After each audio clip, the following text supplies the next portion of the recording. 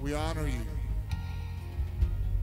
On this day before the head of the year, before Rosh Hashanah, we remember that we are to take stock to Shuvah. We always remember at this time of the year to be expecting your return, to be looking up, to know that you do things your way, on your timing, with precision. And we thank you for that. So, though it doesn't look like you're coming, we don't look at the, at the world the way that other people do. We try to look through your eyes. So we worship you this morning.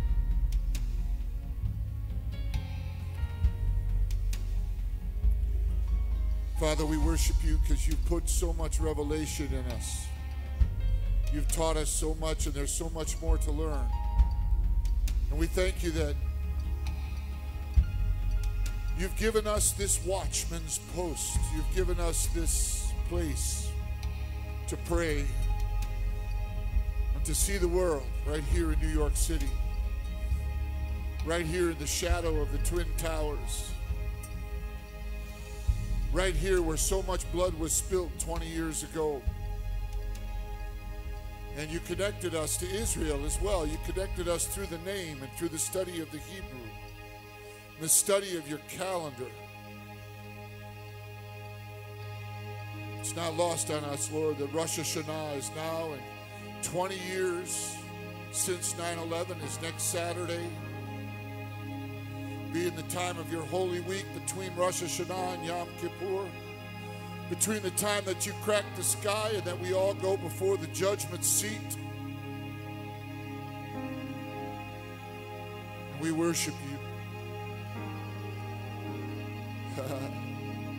the Holy Spirit just said to me, it saddens me that so many people don't understand what you're even praying about, Dan. They can't see what you see. They can't they can't hear your heart cry. They can't hear my heart cry. They don't know how everything fits together. They don't know how I'm teaching them in every move of uh, everything that happens.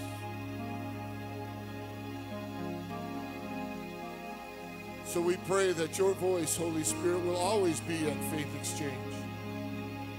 Should you tarry after I come to be with you, Yah, may someone else take this prophetic post.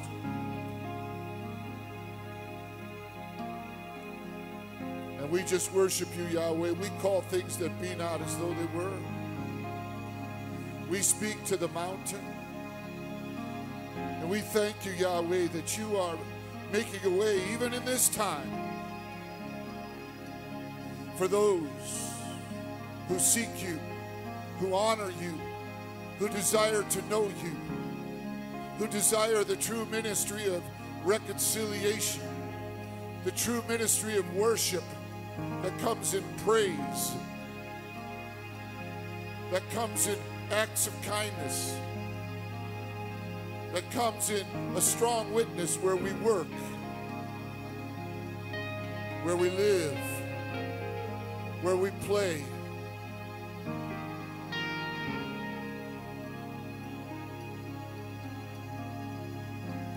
We worship you. Hallelujah. We pray for this city.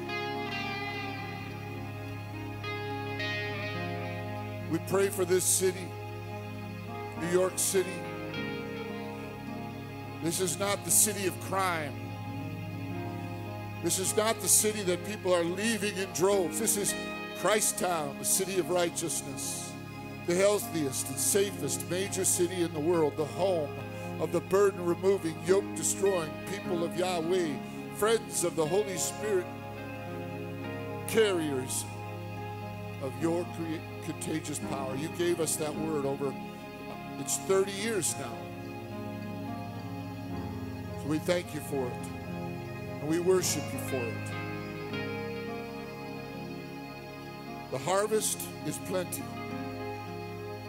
but the laborers are few.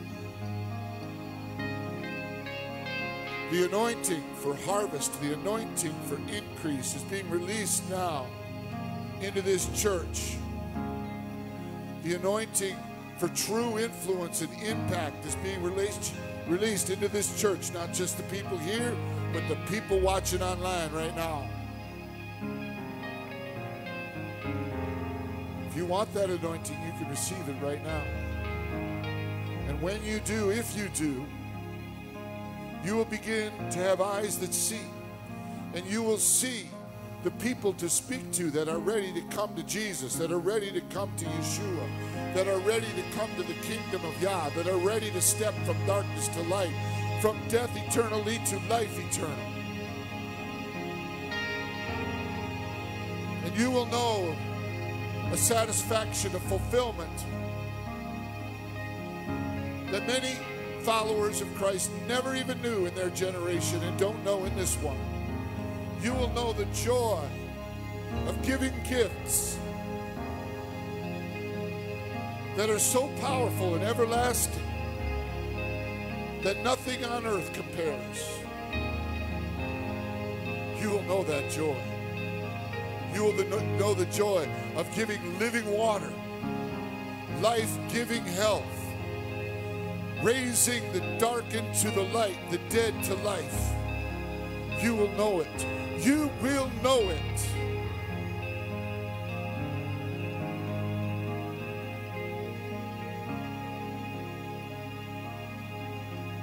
Didi mona na na na mona chena.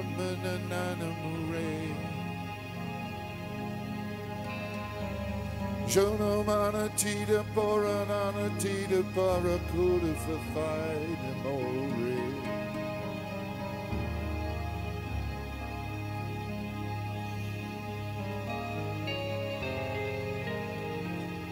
Lord is speaking to us.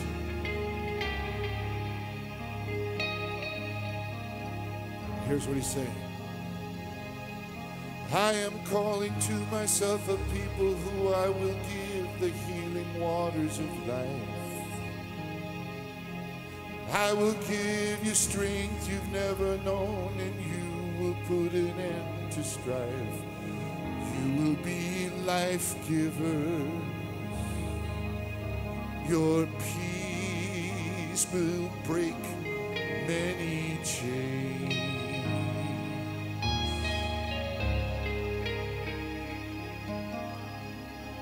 He's saying this.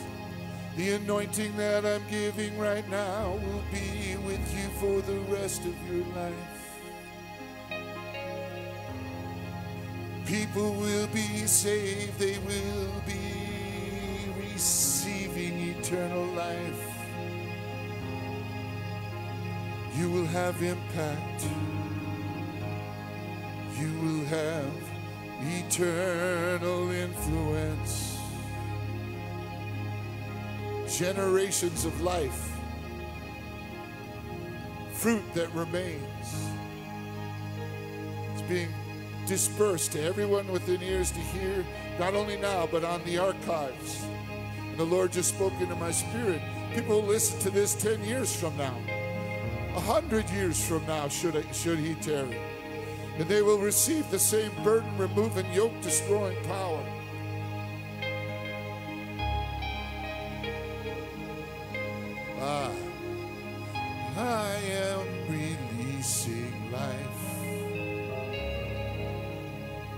Am releasing the ability to see, he says.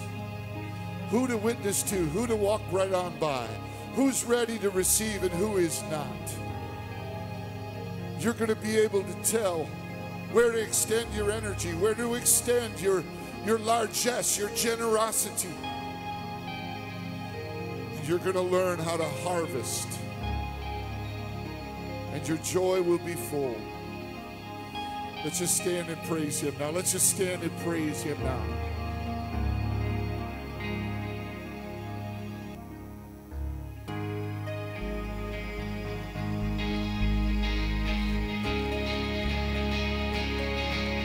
Welcome to church this morning. There's nothing our God can do. You guys believe that this morning? Yeah.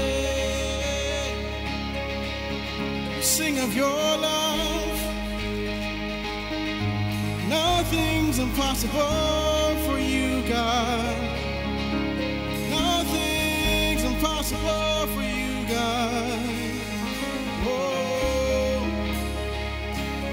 Come on, sing this out. Just one word, you calm the storm that surrounds me. In just one word, the darkness has to retreat. Just one touch, my eyes are open to see. In just one touch, my eyes were open to see. My heart can't help but believe. There's nothing that our God can't do. There's not a mountain that He can't move. Oh, praise the name that makes a way. There's nothing that our God can't do. Oh, in just one touch. You hear what's broken inside me. Oh, in just one word, you revive every dream. Yeah, in just one touch, and I feel the power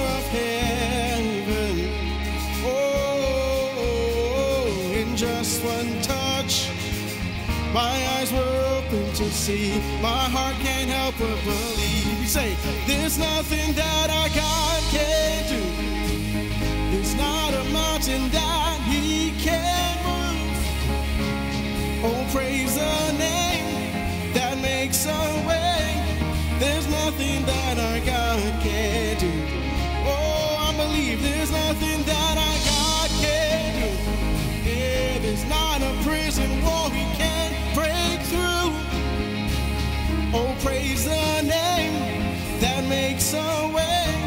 There's nothing that our God can't do.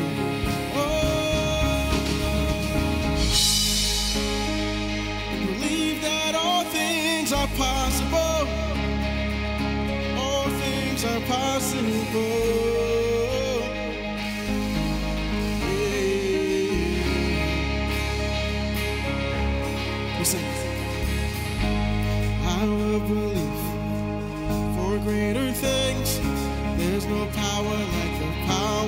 Of Jesus. Let faith arise. Let all agree. There's no power like the power of Jesus. I will believe for greater things. There's no power like the power of Jesus. Let faith arise. Let all agree. There's no power like the. One more time. Sing it out. I will. We say, I will believe for greater things.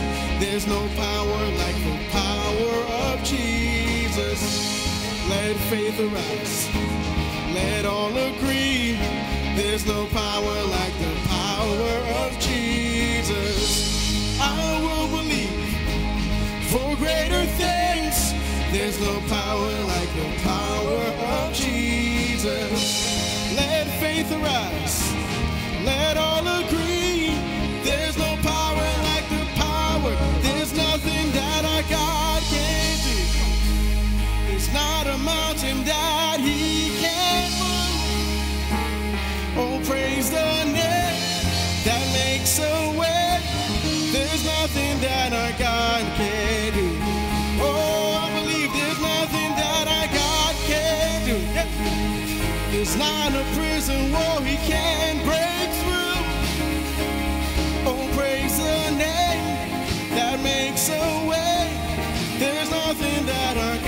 God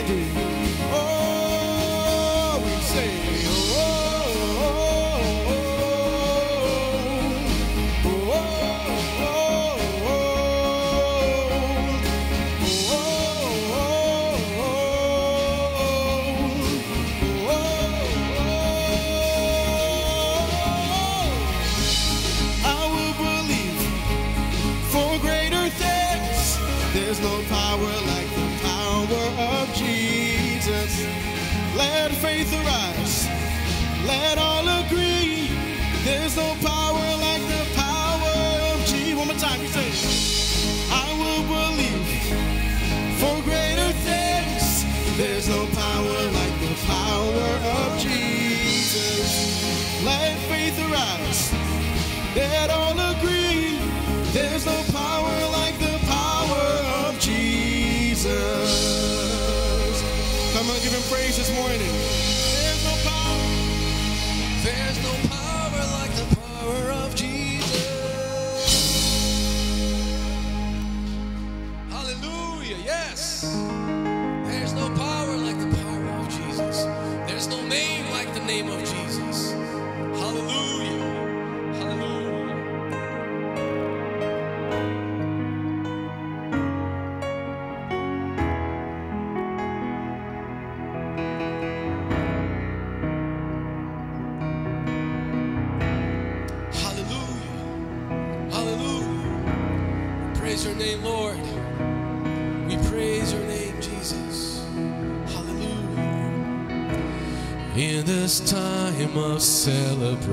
we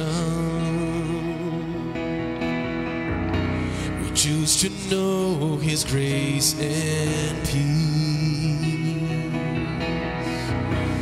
There is only one foundation. We believe, we believe in this current generation. With all his hope, he's helped us see. There is only one salvation. We believe, we believe, we believe in Yah the Father. We believe in Yah the Son. We believe in the Holy Spirit and He's given us new life. We believe in the crucifixion. We believe that He conquered death. We believe in the resurrection and He's coming back again. We believe.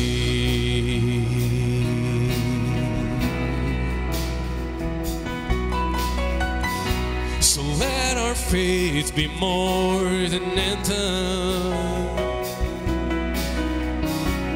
greater than the songs we sing.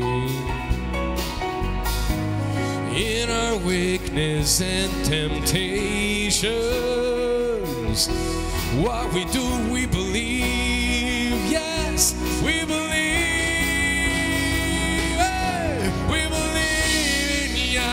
Father. We believe in Yah the Son. We believe in the Holy Spirit, and He's giving us new life. We believe in the crucifixion. We believe that He conquered death.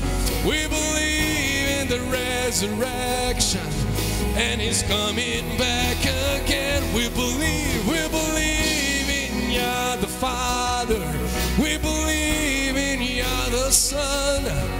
We believe in the Holy Spirit, and He's giving us new life. We, we believe in the resurrection, in the crucifixion, that He conquered death. Oh, oh, oh, and He's coming back again. Found, and now be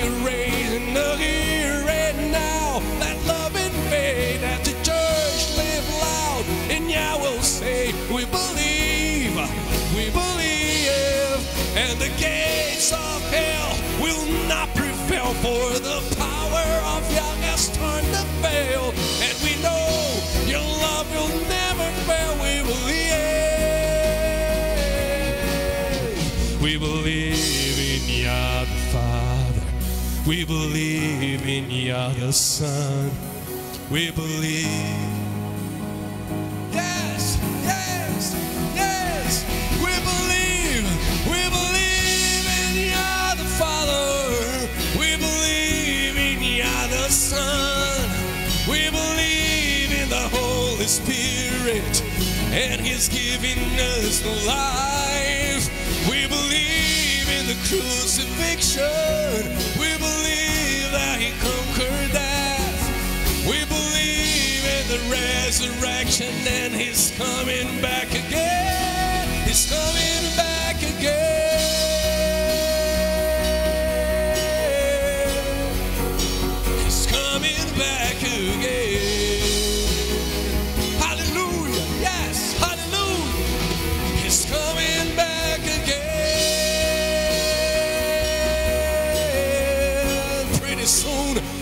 coming back again.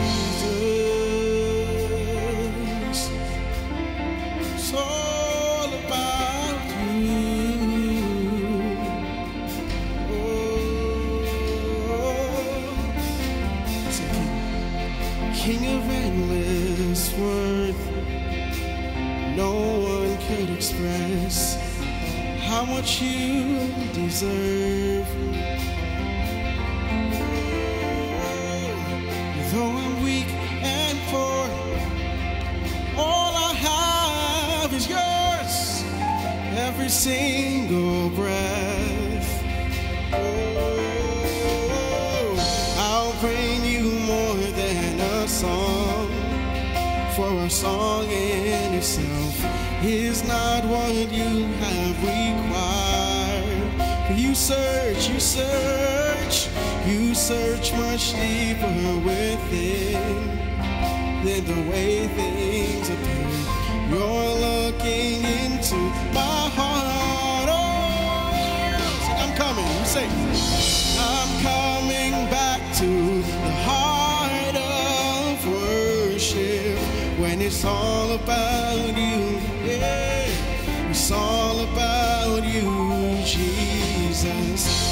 sorry, Lord, for the thing I created when it's all about you.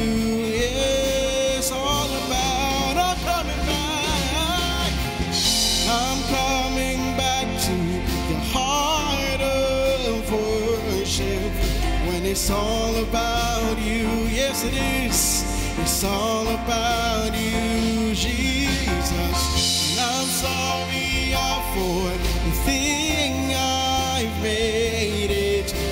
it's all about you.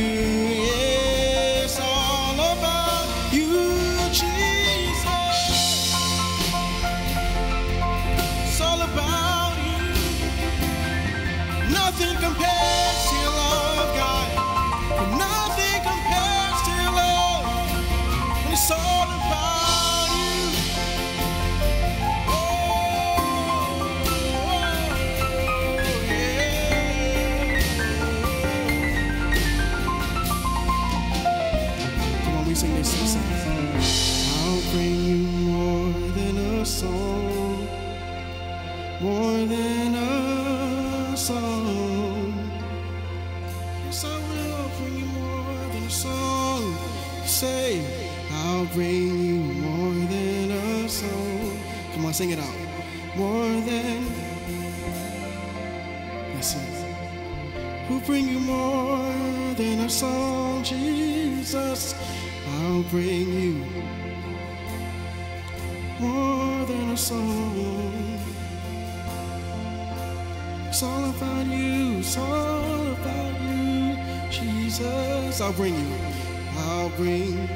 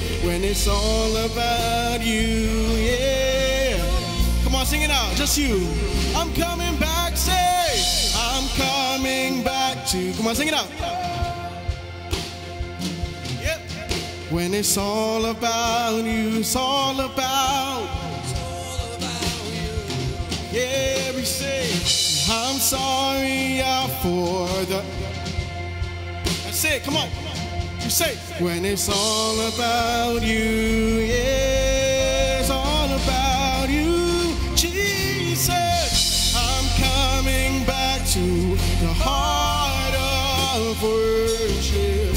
When it's all about you, come on, tell them. Yeah, it's all about you, Jesus. I'm sorry out for the thing I made when it's all about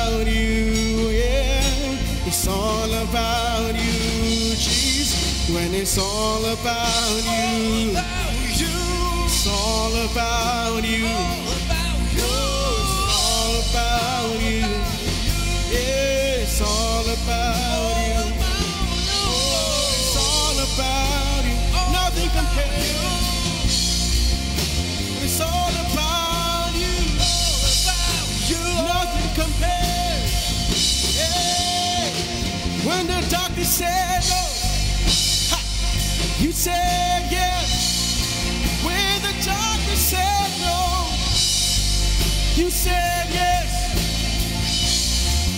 When the doctor said no, you said yes. You said yes. You said yes. When the doctor said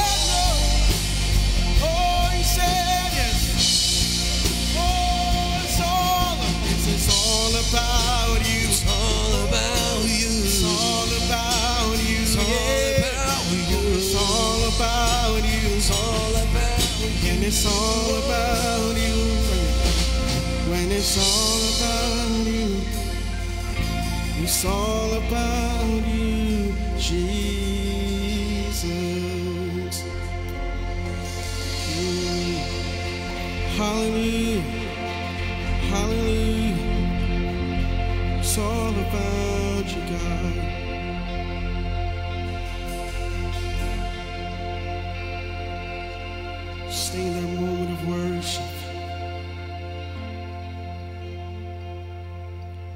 Think about your holy name.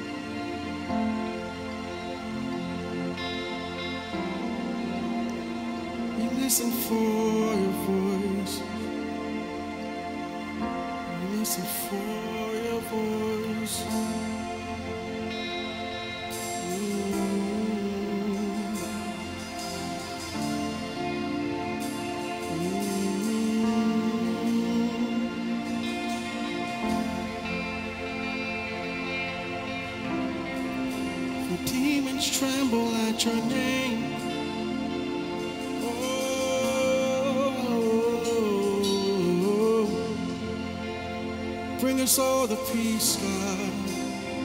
Bring us all to peace. Oh, peace will come when you call His name. Doesn't matter what you're going through. Peace will come when you call His name. Yeah. Come on, we sing this out.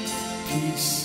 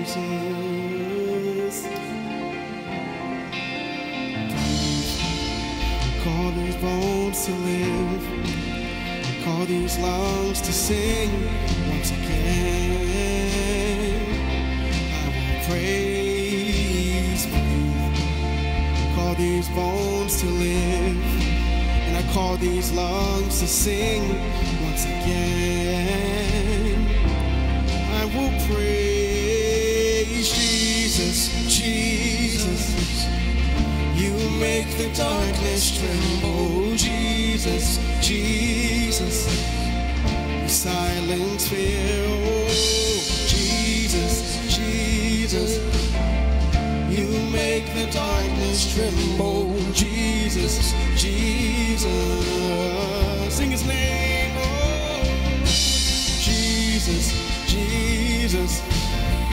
You make the darkness tremble, Jesus, Jesus. You silence fear, oh Jesus, Jesus. Yep. You make the darkness tremble, Jesus, Jesus. Cause your name is a light that the shadows can't deny. Your name cannot be overcome. Come on, sing it out. Your name is alive, forever lifted high.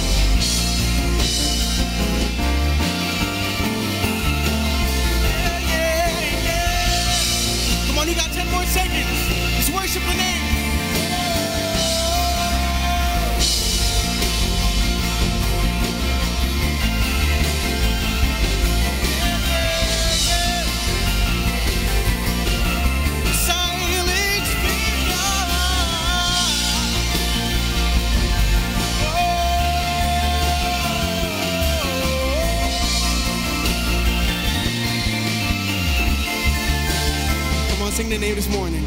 Jesus, Jesus. We say, You make the darkness tremble. Jesus, Jesus.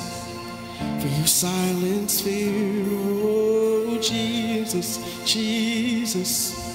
For you make the darkness tremble. Jesus, Jesus. Come on, you say this morning. Jesus, Jesus, Jesus. You make, you make. That's it. Silence fear. Oh, Jesus, Jesus. You make the darkness tremble. Jesus, Jesus. Cause your name, cause your name is a light that the shadows can't deny.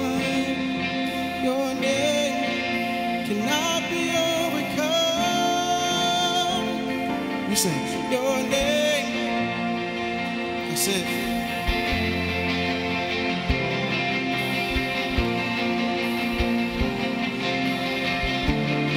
Come on, sing it one more time from the depths of your heart. Your name.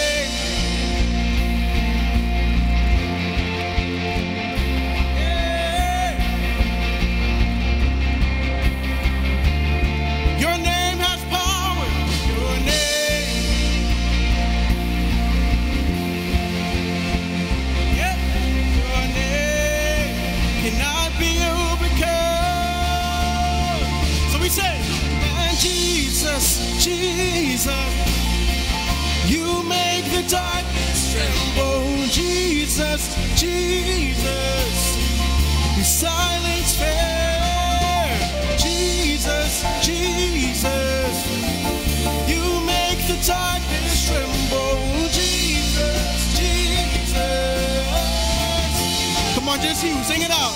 We saying Jesus, Jesus. Come on, say. it. You make the darkness. that's it. Jesus. You silence fear. You silence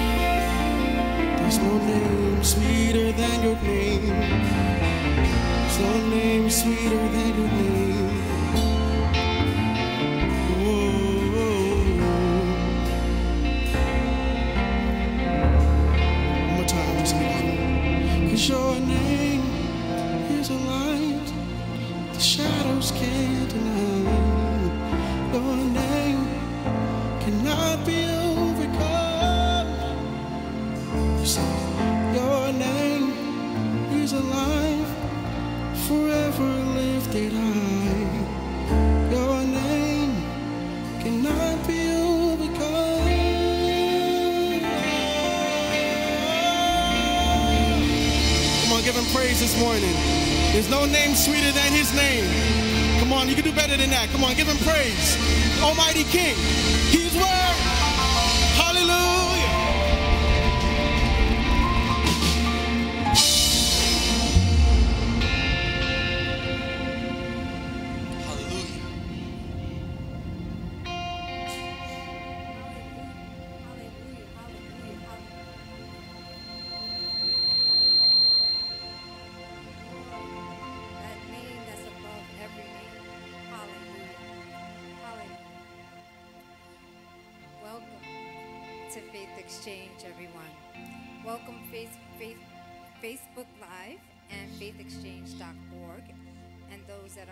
are.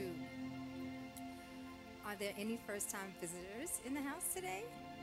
Yes, because I have a visitor. Please stand so we can welcome you just for a minute. Hallelujah. So you've been given a welcome packet, which contains a brochure explaining how Faith Exchange got started on the, um, sorry, at the World Trade Towers, actually. Hallelujah. We're coming into 20 years of 9/11 next week, and please fill out the um, visitor's card and drop it in the offering basket.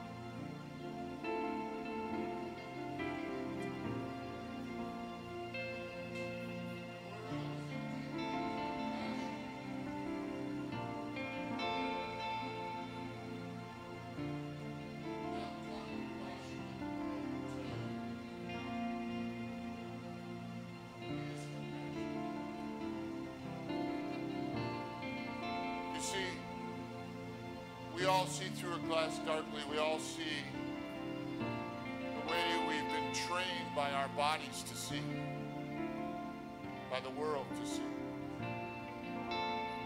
But He wants you to see through the eyes of eternity the truth.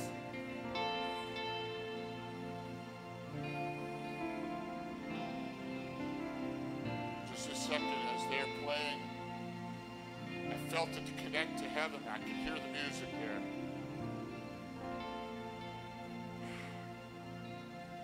It's hard to do the announcements when the anointing is so strong.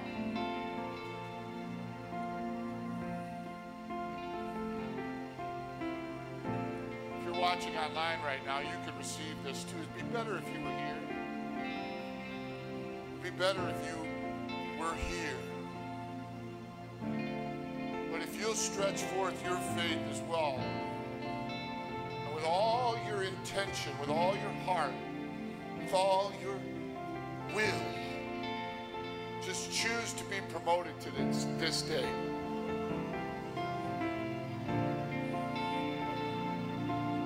You're going to go into the streets this afternoon. You're going to go into the streets tomorrow. You're going to be walking places. You're going to see highlighted catch somebody's eye, and they're going to, you're going to, see light in their eye, an approachability. And you're going to know to walk over them, to them. And not only are you going to be able to share the kingdom of God and invite them into eternity, but for some of you, they're going to be lifelong friends.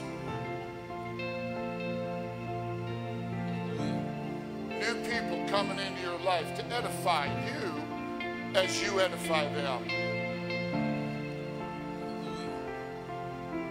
But remember, this is not a one time chance encounter. This is going to be an opportunity to invite them into your life, into the life that you have that is eternal life. Oh, I can feel your flesh resist that to a certain extent. I don't need any new friends. The Lord is saying to you, you do need new friends. And those people need new friends.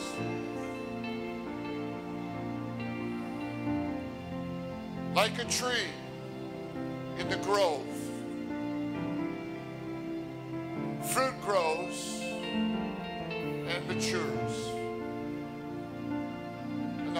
minister knows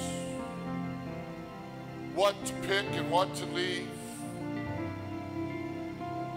This one is now. This one will be a week from now.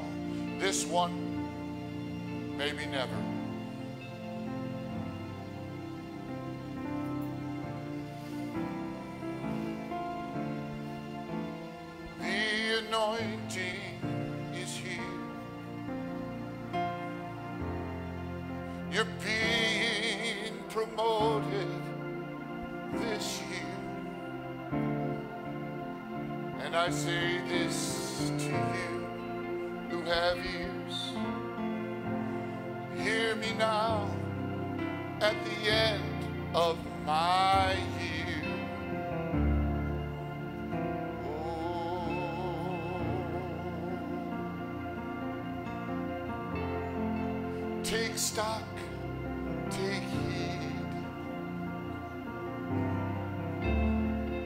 For you I did bleed. My love for you has not waned. My love for them I place in you now.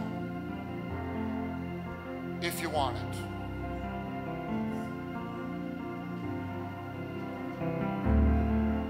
My voice is this place.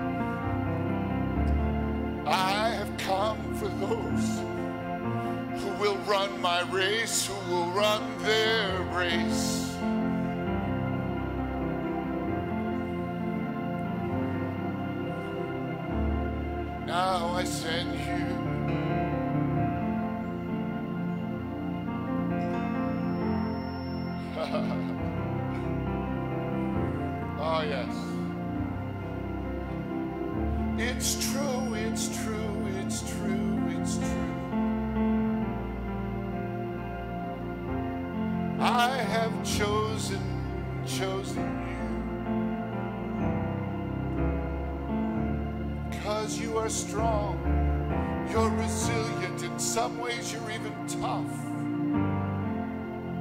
You'll be persecuted, you'll be mocked, you'll be roughed up.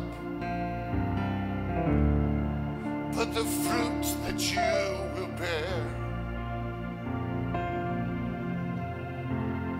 you'll separate the wheat from the tare.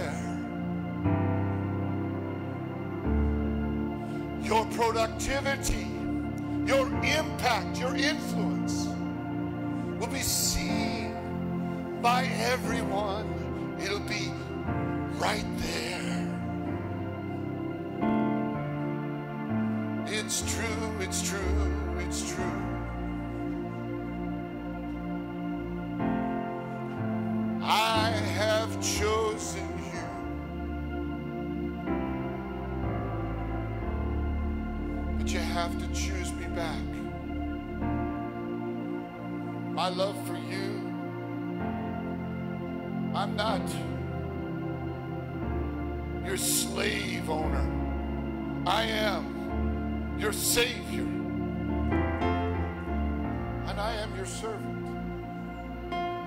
I am Lord. I am Creator.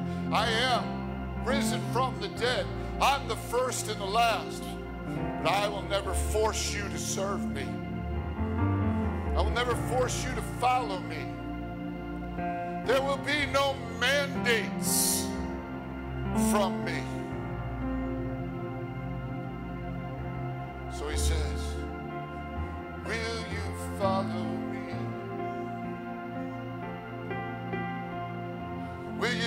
My hand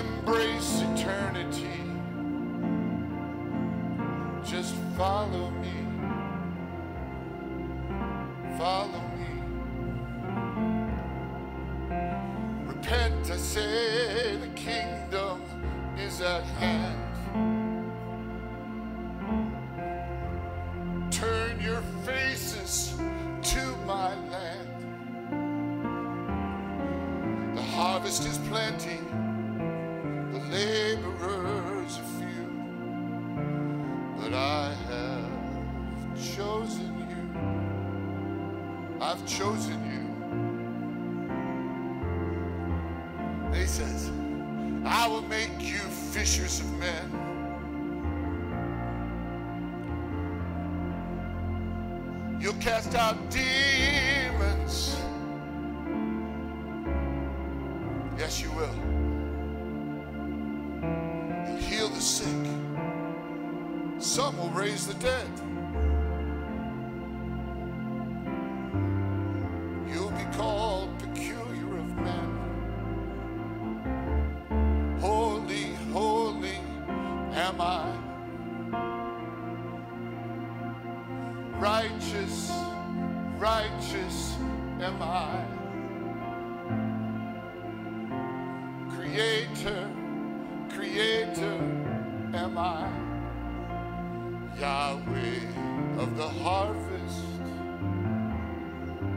of the harvest.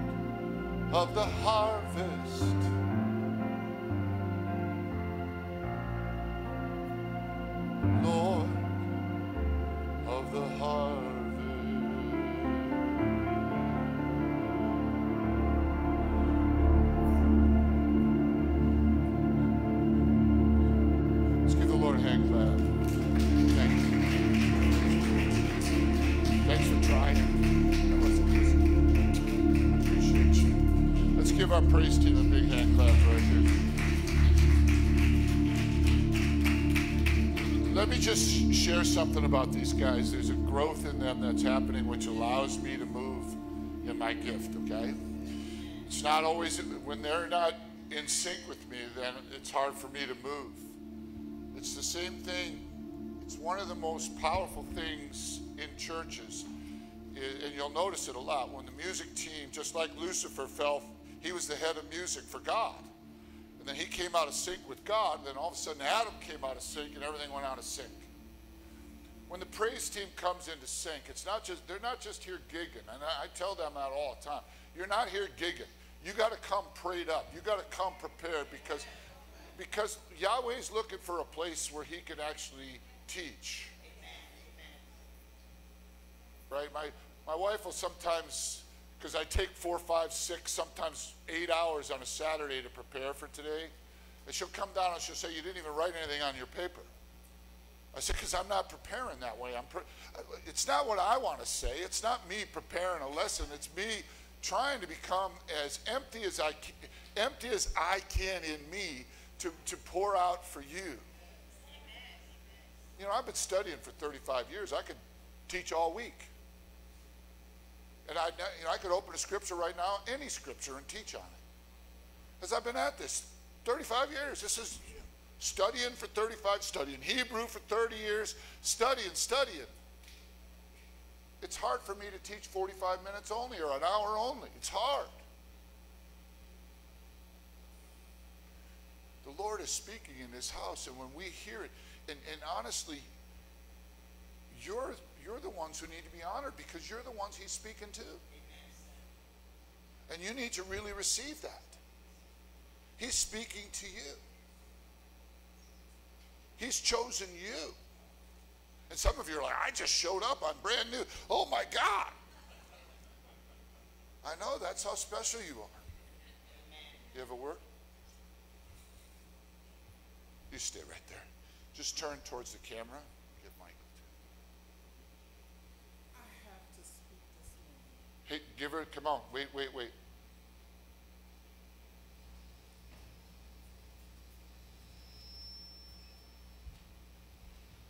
Okay, Can you hear me now? yes. I have to speak this morning because what is happening here this morning is an extension of Saturday morning, Pastor Dan. Go. Saturday morning, the Lord gave me the name I studied it out to expound it on the prayer call. I went through that because I'm getting a rejection. Hold it, hold it. Let's get this clean.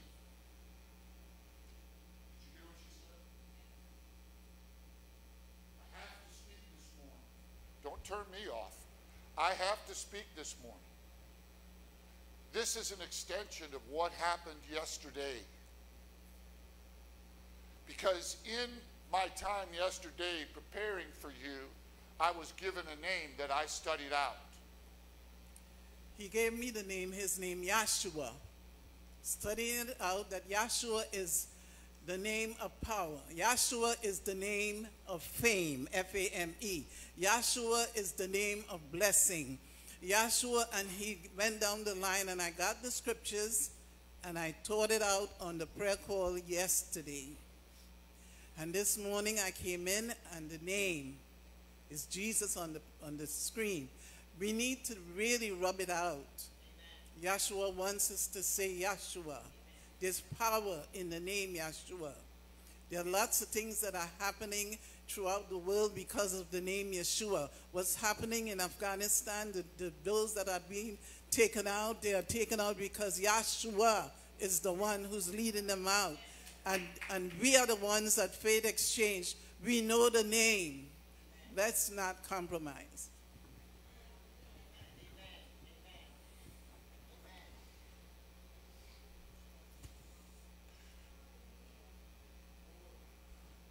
Let the Holy Ghost teach. Is that all right with you all?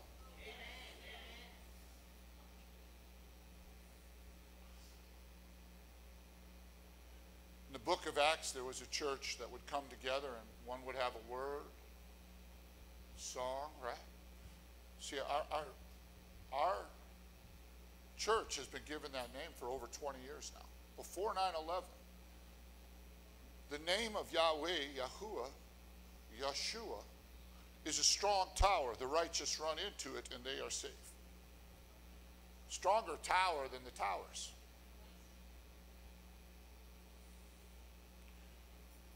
Psalm 91. With what's going on in Afghanistan, it's not just Afghanistan. Yahweh is rescuing his people out of the world.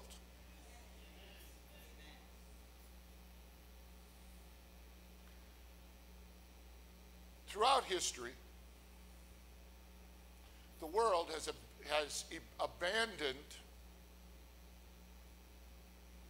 people of faith, persecuted them, declared them to be an enemy of the state. We haven't experienced that here in the United States yet, but Russia has experienced it, China has experienced it, Japan has experienced it. Korea has experienced it. They fought a war over it. But we don't get taught these things. Why is this important? It's important because you understand it's about to happen here. But you need to understand also to be of good cheer.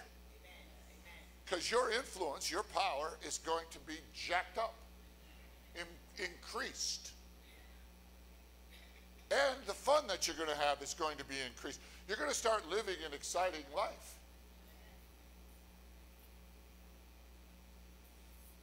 I don't want exciting, Pastor Dan. I love watching TV with the, my whole life. I love just just vegging out on my cell phone. I love just sitting on the beach. I just love it. I just love being a vegetable, which is what the devil wants you to do and wants you to be.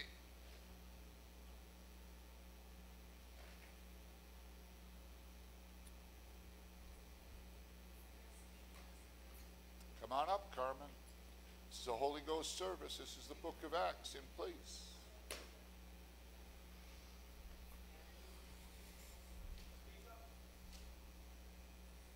You got her on Pastor Annie's mic. Hello, everyone. Can you hear me good? Yeah. Definitely, the anointing is here. The anointing is here. It's here, and I have confirmation that the anointing is here. Thursday, I was walking with my family, and I stopped because I saw a van that had the cross and it said free Bibles. I went to that table and I started talking to the pastor there. The pastor is aware of Pastor Dan. He said, You, you uh, knew someone by the name of Joe. I know a lot of Joes. And, and um, you both worked in the World Trade. Yep, Joe Adivai. Yep, That he has his own church now, I believe. yep. We ordained him. Mm-hmm. And we started talking. And I was there, and his wife, we were sharing. And in the corner, my husband and my cousin were calling me, Come on. And I was like, Uh uh I stood there and I was talking. And two young men came. And his wife was talking with them. And I felt the prompting of the Holy Spirit. And I just, Lord, and I told them, Today is your day of appointment. Today is the day of salvation for you. The younger one started uh, tumbling for words, and I said, No, it's your time as well. And I said, Say this with me. And they both became born again Christians right there and then. And I am telling you, I wrote out a text to my friends, and I said, The time is at hand. I said, Prepare, pray, press, and prioritize because the time is at hand. The world as you know it is no more. The time is coming and has already come that we, the believers, need to stop being in comfort zone because we're not going to be comforted the way we are now. That's right. We need to press. We need to stay in His presence. And uh, so I went out yesterday to um, check out this church because it starts at 7. And they were holding a picnic out on 10th Street and 3rd Avenue. And they were feeding the homeless. They were doing outreach. And we were there and we were talking. And I tell you, people are hurting. We have the answer. We are the solution to the confusion. And I'm telling you, we need to minister even in our own homes. It's not, oh God, you're the Lord of the harvest. Send the laborers. We are the laborers. We need to take back our cities. We need to take back our nation. We need to take back our families. We are. This is the house we've been trained in. We have the answers. I'm sorry, I just get so ramped up. It's time. It's now. It's now. People being persecuted. It's now.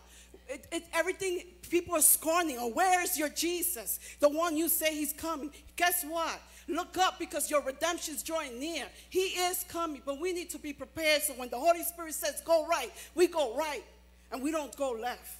I am telling you, I am warning you. We need to stay in his presence. We need to be love. Fill ourselves up with love. Because in love, nothing fails.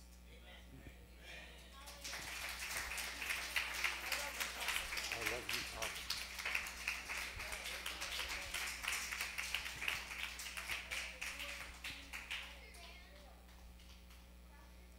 Come on.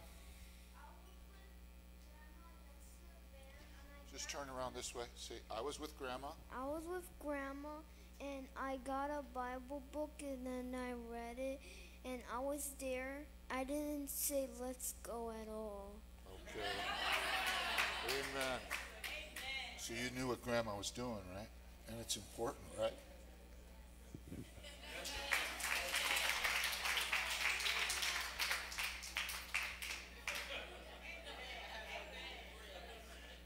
That's a little Pastor Annie right there. I didn't say that. that wasn't me.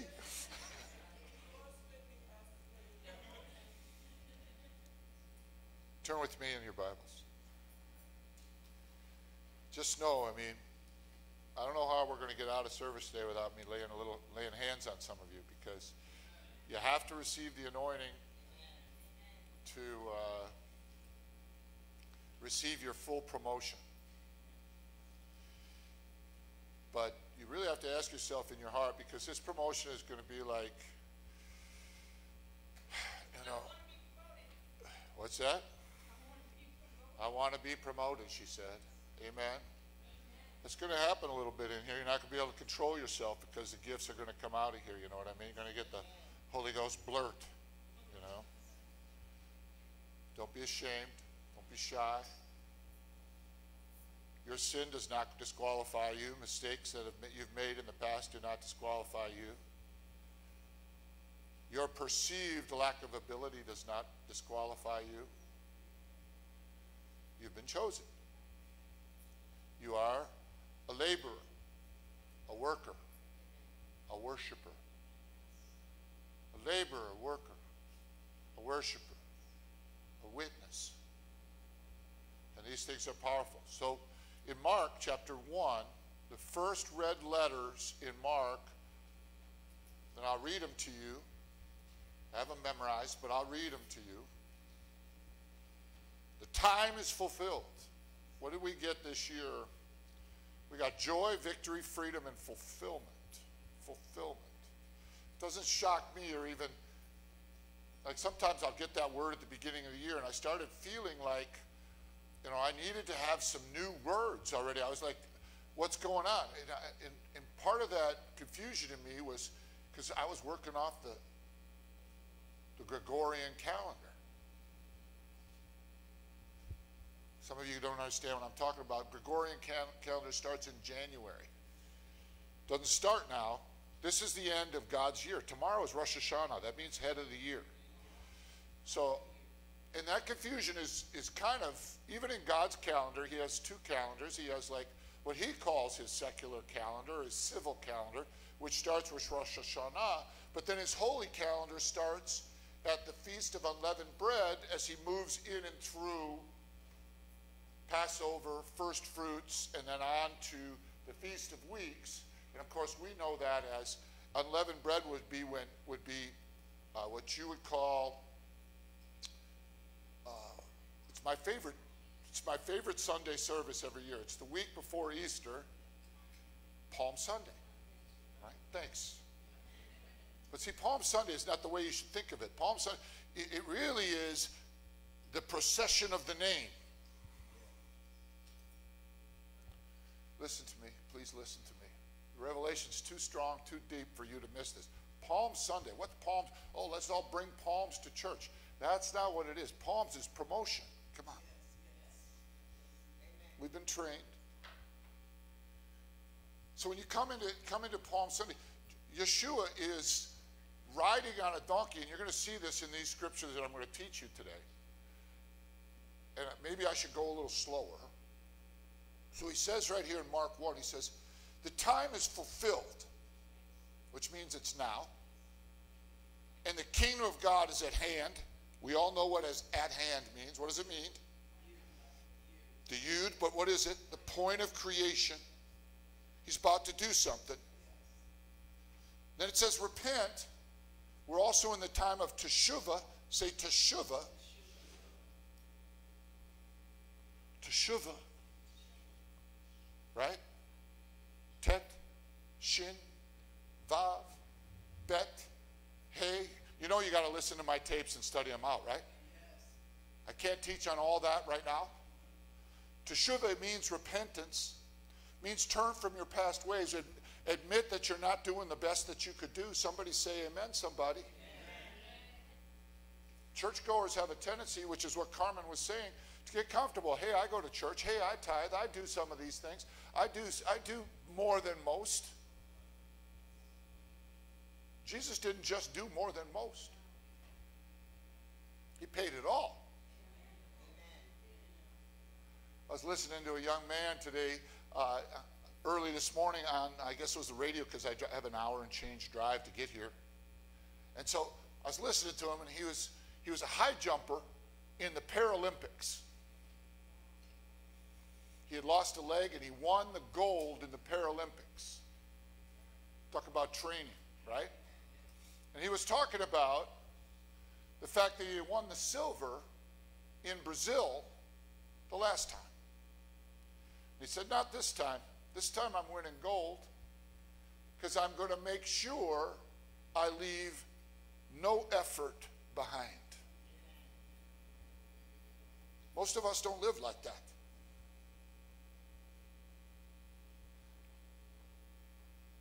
I had the wonderful weekend. It started last night, and actually yesterday during the day, I got to see my daughter. I hadn't seen her in almost 40 days. And uh, you know, you know, she's got a big piece of my heart, huge piece. I'm so proud of her. But it's not just that I'm so proud of her. When I'm with her, there's no one more than my wife. There's no one who finishes my sentences like her. It's like I, I just, she, she says it. Uh, She says it. Right? We're just that close. She gets every joke that I tell. They're not all funny to her. Yet I get it. You know what I mean? So I'll start. Dad, it's not going to be funny. You know, that's how close we are. And so I was wanting to just be with her, but I couldn't be because of the anointing that God has right now, because of the timing. I am feeling today what I felt on September 10th, 2001. I'm feeling a sense of urgency when I wept for four and a half hours on my deck, on my side, curved up like a baby. Just, my wife thought I was losing it.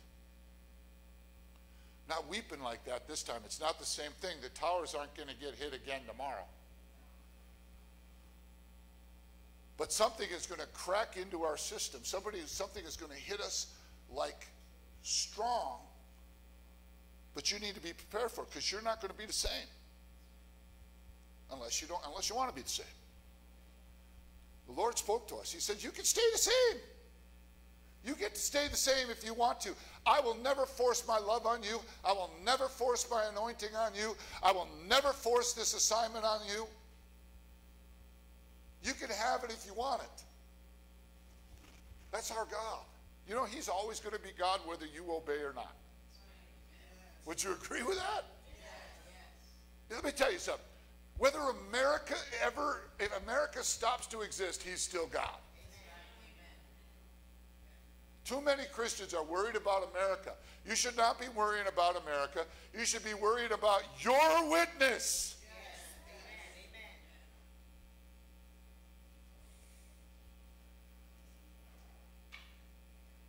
It's true, it's true, it's true. you know, I,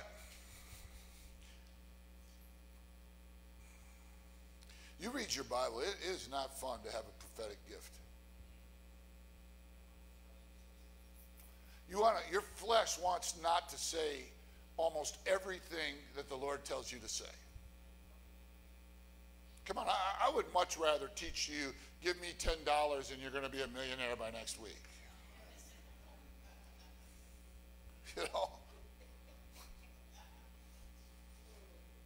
Let's go to Mark chapter 11. Since we're in the book of Mark.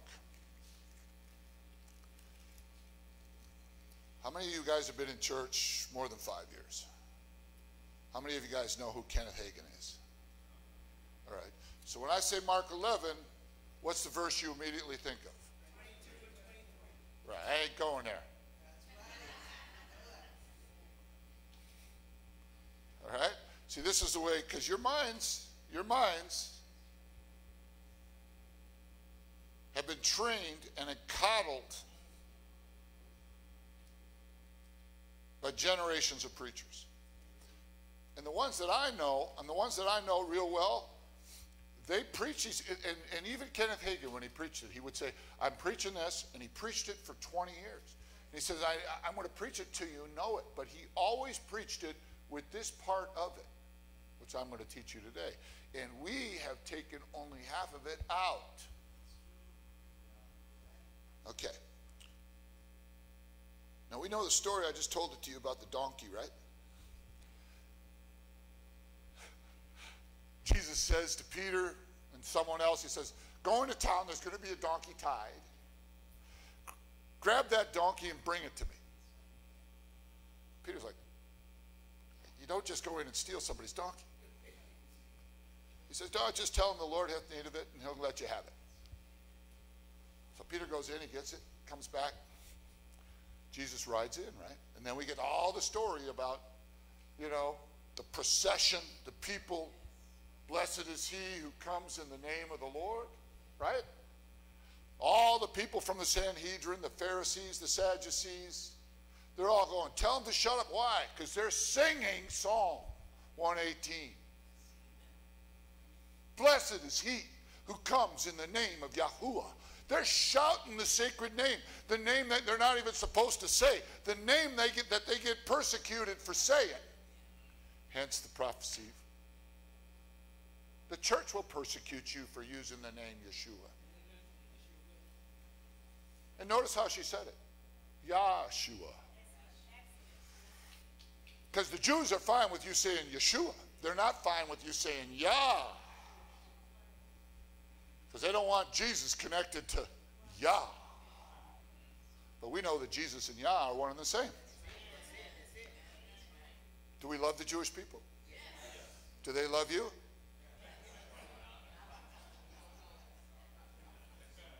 They don't.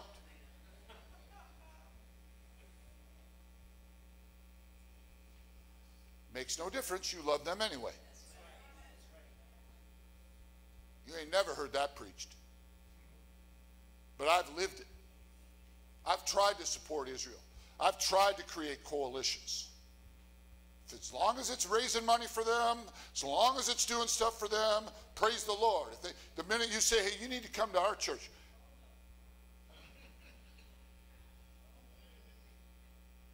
no, they, they're they condescend to you. They're happy that you like Israel. There would be no Israel without you.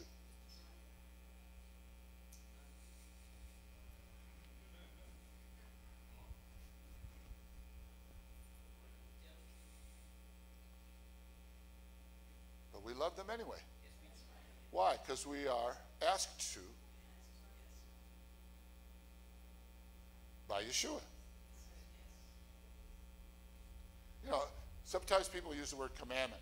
How many of you know you don't have to keep the commandments? You don't. Commandments are really, in a lot of ways, instructions. If you do this, you'll be blessed. If you don't do this, they're not mandates. If you don't keep a commandment, you're not going to be punished. I mean, if you kill somebody, you're going to be punished. You should be punished. If you steal, you should be punished.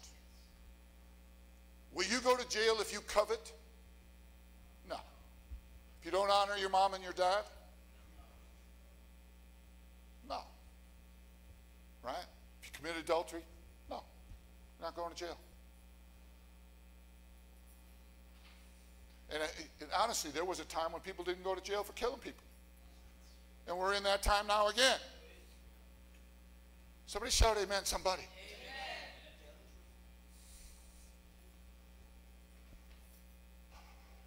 Do we like it when the Holy Ghost preaches? Yes. No, seriously. Yes. Because when the Holy Ghost preaches, he tells the truth.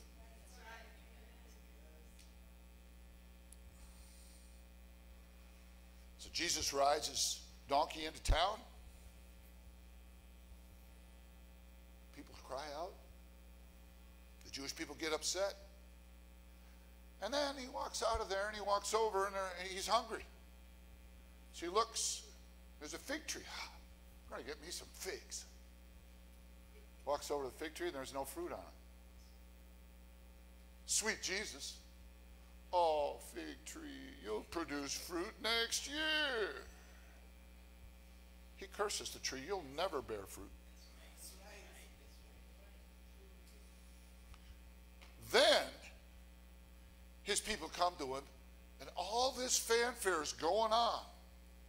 But Peter had noticed that that tree wasn't just fruitless, it dried up. So, of all the things that went on that day, the parade, the donkey, all the things that went on, the way he confronted, he even had gone into and cleaned out the temple that day. Feast of Unleavened Bread, the beginning of the Holy Year.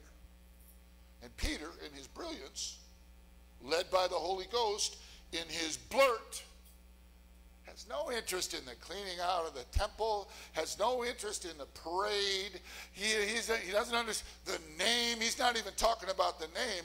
He's out of his mind scared because Jesus just killed something. That's out of Jesus' character. What the heck happened there?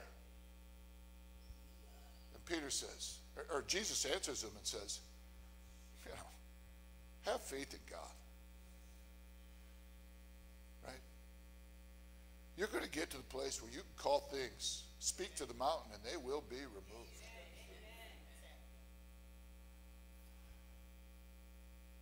But if you study Jesus' other parables, let's go to uh, Matthew 9. You'll see he talks a lot about fruitlessness. He's not good with fruitlessness. Who's not good? Yahweh's not good. Who else is not good? Yeshua's not good. You know what that is? He's not good with inefficient, unproductive defeat. He's king. He's Lord. He's creator. He's the giver of life.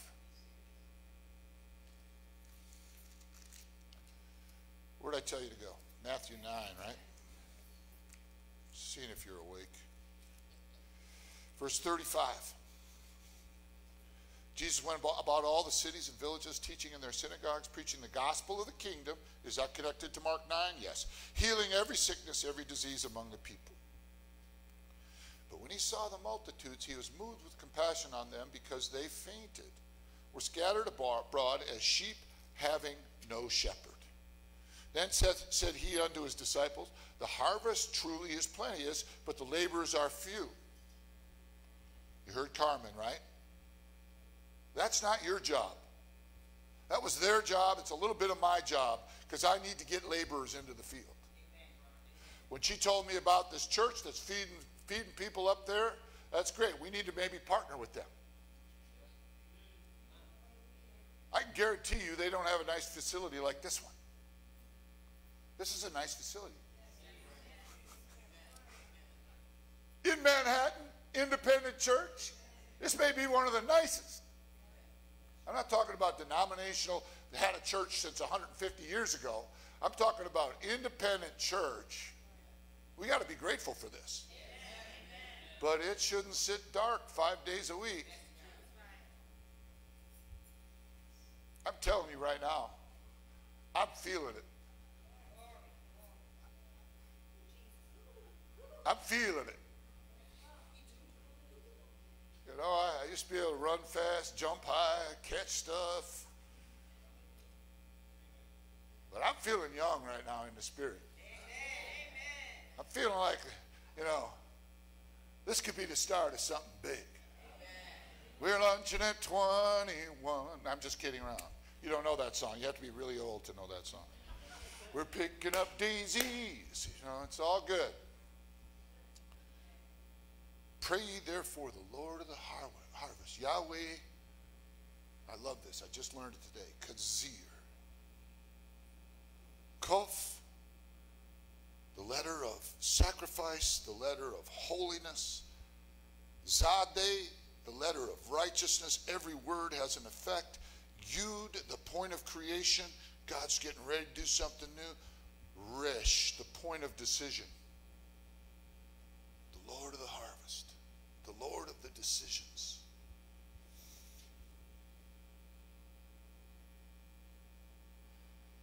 I have a little goddaughter. My brother had a baby many, many, many years ago. Not that many, 32 years ago or so, 33 maybe. And his wife, she's been here to church. And this young girl's been here to church. They live in uh, Fergus Falls, someplace up there in northern Minnesota four kids now, serving the Lord. They're both, they're, she's in the ministry, my goddaughter. But when she was dedicated, Annie and I got to be there because not so much my brother, but his wife saw the anointing on us, and we were there for this little girl. And so we've been close to her all this time. And so she sent me this via Facebook the other day I don't talk to her that often. See her at Christmas. I saw her recently at a wedding. She said, I had a dream about you two nights ago where you were preaching, and Andy, who's her husband, said I should share it with you. People in the room were having powerful encounters with the Holy Spirit, and I asked God what he was saying about what I was seeing sitting in the congregation, and it seemed like he said, He is anointed. And there's nothing anybody can do about it. If I've anointed them, that's it. You also preached about God highlighting people ripe for the harvest. White seeds, clear as day on brown branches, for us to pick and put in His bucket. And I felt called to evangelize, share the gospel, and that God would highlight people as clear as day who were ready, who were ready. And her sweet little spirit, she goes, Anyway, I hope this blesses you. Love you.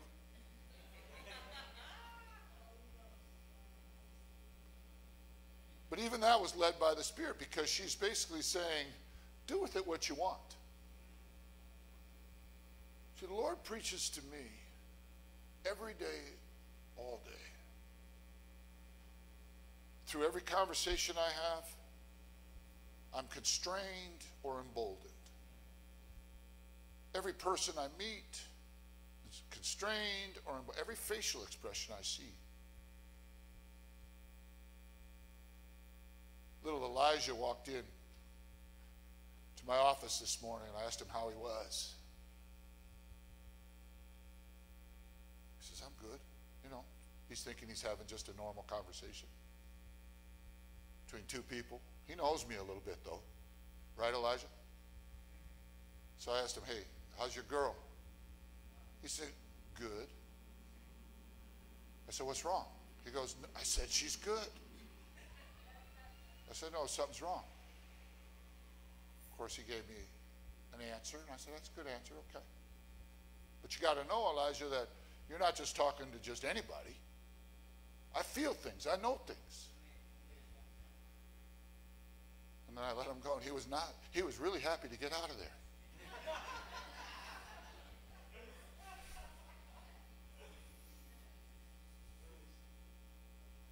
Again, I, I it's no fun. I mean, people over the years have come to me and said, How do you know I'm leaving the church before you do? How do you know before I do? I says, Because I know God speaks to me. He loves me too. And I love every one of you so much that He, he protects me. He tells me ahead of time so I don't get blindsided.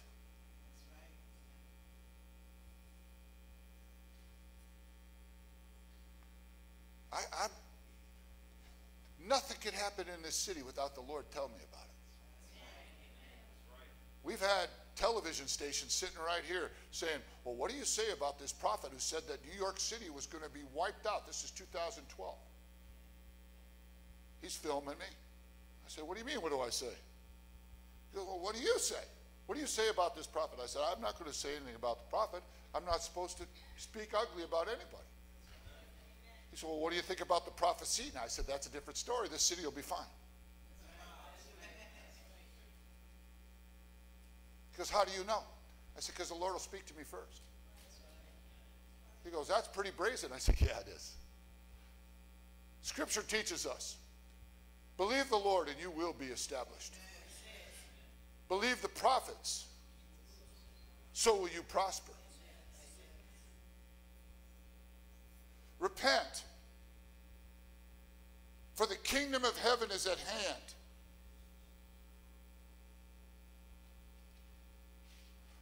Believe the gospel. Amen? The time is fulfilled. So in Mark 10, he begins to minister and he begins to equip his team. Go into the way of the Gentiles. You know who, you know, oh, I love this. And in any city of the Samaritans enter ye not. So Jesus starts to give instructions as to where you're supposed to go. Be unafraid of people who are atheists. Secularists. I didn't say stay away from them. I said don't be afraid of them. Carmen prophesied it, even though she was given a testimony, she was prophesying. She's saying, fill up on the love. When you are loved, when you feel the love of God, I've got to tell you something. If someone you love, really, really love, tells you you're beautiful and then somebody tells you you're not, you don't care. She thinks I'm beautiful, then hey, I'm beautiful. Right? God thinks you're beautiful. You are anointed. You have a purpose. Your purpose is reconciliation. It's not division. But can you see? Can you, I want you to feel this. Your purpose is love. Your purpose is reconciliation. But this still feels like I am arming you up for a fight, right? Doesn't it feel like that? I'm getting you ready for battle. Somebody should write the song. This is the battle for love and of love. And it's the battle of eternity. It's the battle of all times. It's bigger than Armageddon. Listen to me. This is a battle of life and death. Not for you, because you've already got eternal life. This is a battle of love, as you love Yeshua so much that you're out there, you, you're just going to pick those white things off those brown branches because you love Jesus. Amen. Yeshua. Right? I don't want to get off on that tangent right now, but that was a word from God. Yes, it was. Yes, it was. When you see Jesus in your King James Bible, you say Yeshua. When you say the Lord in your King James Bible, you say Yahuwah. And when those things start to connect for you, you watch the power of God start to hit you. It's fun, man. It is fun. Isn't it fun, Carmen? It's fun. You're going down the street, people getting saved. Wherever you are. You know, I'm about to tell you, sir, I, I'm playing golf at a club, and people are driving over on their golf carts for prayer. What? People don't do that sitting at the table with my family, people coming over for prayer, coming out of board meetings, having prayer at my table. Pastor Dan, would you pray for me?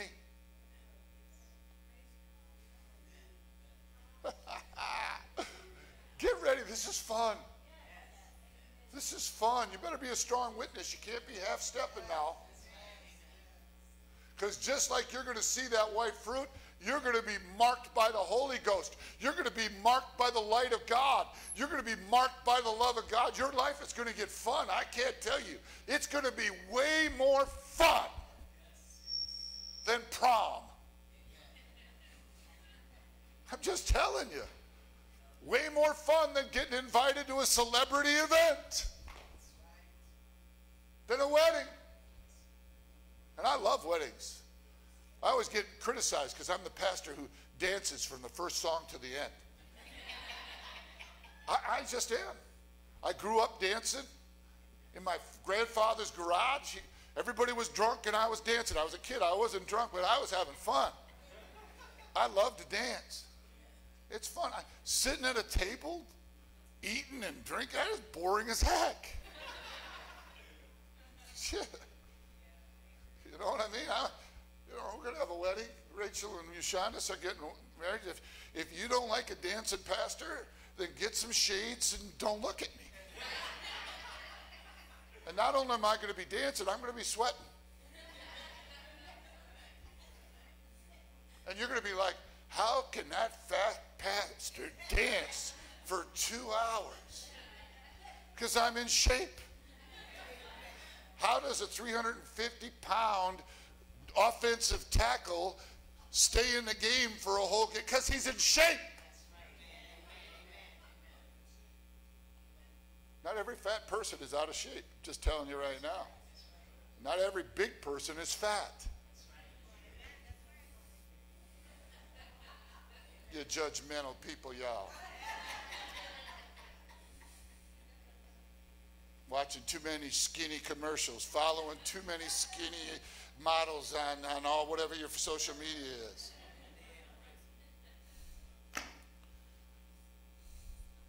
So he tells us where to go. And then he says, tells us what to preach. Kingdom of heaven is at hand. You know what that means? You guys don't have as much time as you think you have. It's decision time. And then it says, lay hands on the sick, heal the sick, it says, cleanse the lepers, raise the dead, cleanse the COVID. Leprosy was in the day. COVID's in our day. Hey, let me give you a little thought. The unclean don't make the clean unclean. The clean make the cl- unclean clean. You have nothing to fear. Ah, ah, the church is, ah, ah, shut up, devil. Don't even be mad at the person saying that. Oh, I love this church. Let me tell you something. I'm looking at the church. Martha, I don't want to pick on you. Angel, I don't want to pick on you. But they're trying to mask us so we don't preach. Masking you is trying, they're trying to mask all of society so that you are muted. You are a speaking spirit at the core of who you are. Have you ever gone to a Starbucks in a busy mall when they're all masked up? You can't understand a word they're saying. They're behind the glass.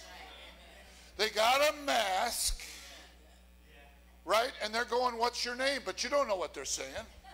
So they can write it on the cup, right? What? Spell it. I got no clue what they're saying. So you think you could preach the gospel with a mask on? You scared? Whoa! Wear the mask if you want to wear the mask, but preach the gospel.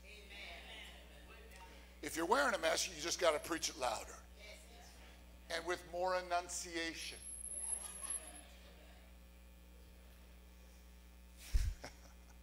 and that's not a Catholic holiday. Enunciate. Danielle would have said that's funny. Some of you got it, some of you didn't. You have to be Catholic to get it. And most people have been Catholic at least once. Provide no goal. He says, don't think about money. Listen to me. Most of us spend too much time worrying about our bills. How can I make more money? How could people used to say to me when I left the commodity exchange floor, how can you leave this? My dad said it to me. You're making buku bucks. That's a lot of money. That's an old term. Everybody knows buku. Lots of money, right? And I was. But I said to my dad, it's not about the money. The whole world is not about money. He goes, You're making a huge mistake. Even my wife in the beginning, You're making a huge mistake. Let me tell you something. You want to talk about currency? I got currency eternal life. Amen. Watch this. I got currency. Reconciliation. You can be forgiven. Your heart that, that condemns you all day can be healed. You have no idea how many people walk around all day shamed, all day blamed. And then we hear we see people out there trying to shame and blame people for something they said in 1977. We are not the shamers. We are not the blamers. The church has historically been shamers and blamers. We are not that church.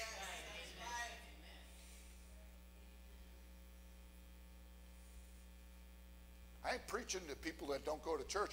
I'm preaching to people that do go to church. I'm preaching to people that the Lord just prophesied have been chosen.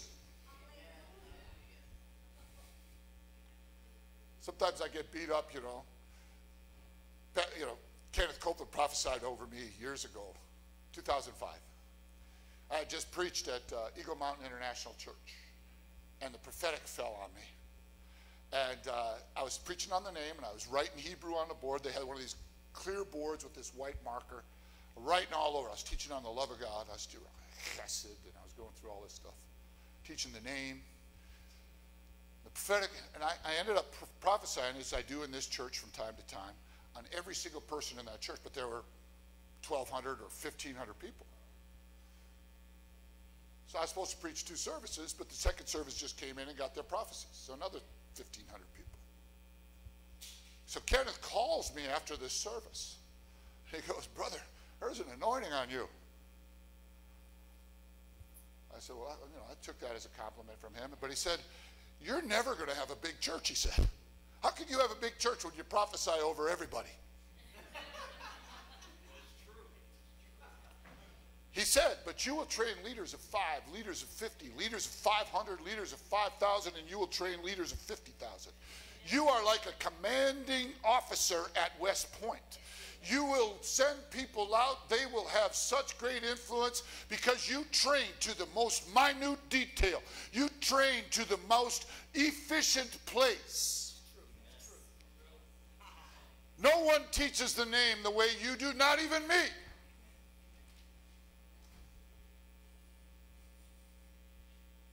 Jesse comes in here and he says to us, he has many names. He doesn't. He has one. His name is Yahuwah. All everything else, Lord of the harvest, attribute. El Shaddai, the breasty one, attribute. Adonai, sovereign, not his name.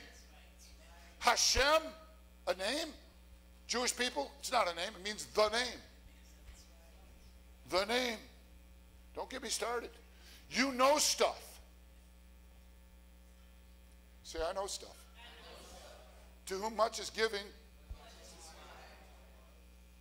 to whom much is given, they go on vacation. No, to whom much is given,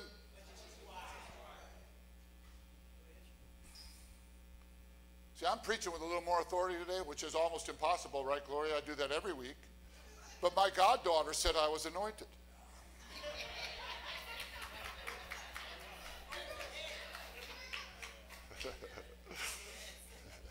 Danielle's like, all right, that was funny, Dad. That was good. Rachel's back there because she's watching my mind work. She's going, Pastor Dan, man, you just freely associate all over the place. What is with you? I do. I have to rein that in from time to time. Talks about when you come into a house, bless it, salute it, it says. When Gloria and, and Leroy bought their new house in Jersey, I went out to that house and I walked that property and I blessed that house. When you come into a house, bless it.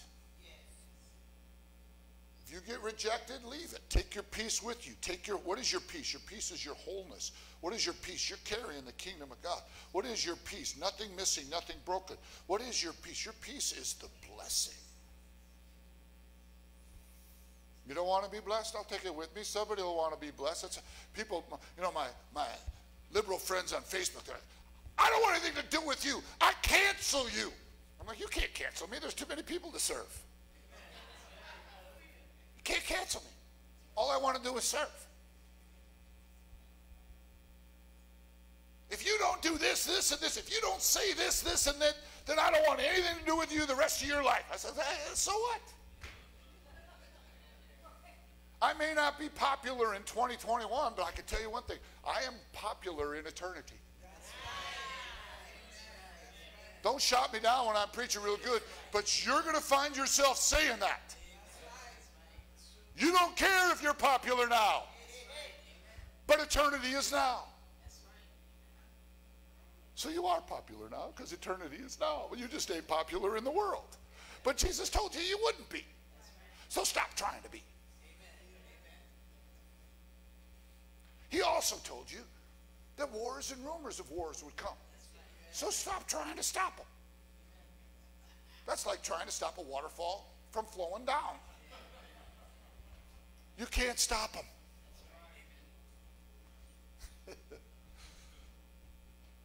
don't shut me down. Don't, don't resist me right now. The Holy Ghost is moving. So he gives us this thing. You need to read this. When they deliver you up, say when they deliver you up. Some of you are going to witness this so strong, you're going to end up in very, very influential places because you were persecuted. And you are going to be quoted preaching the gospel on mass media. But don't quote Fox News, don't quote CNN when you get your time. Make sure you're coming straight from Jesus.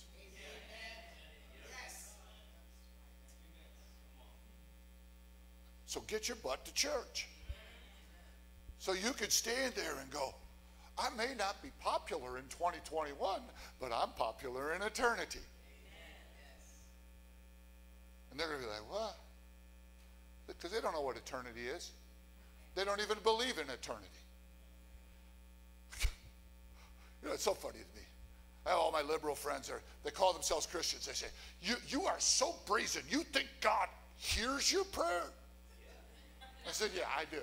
You think he answers your, I said, yeah. Too many times he has. So I said, can LeBron James dunk a basketball?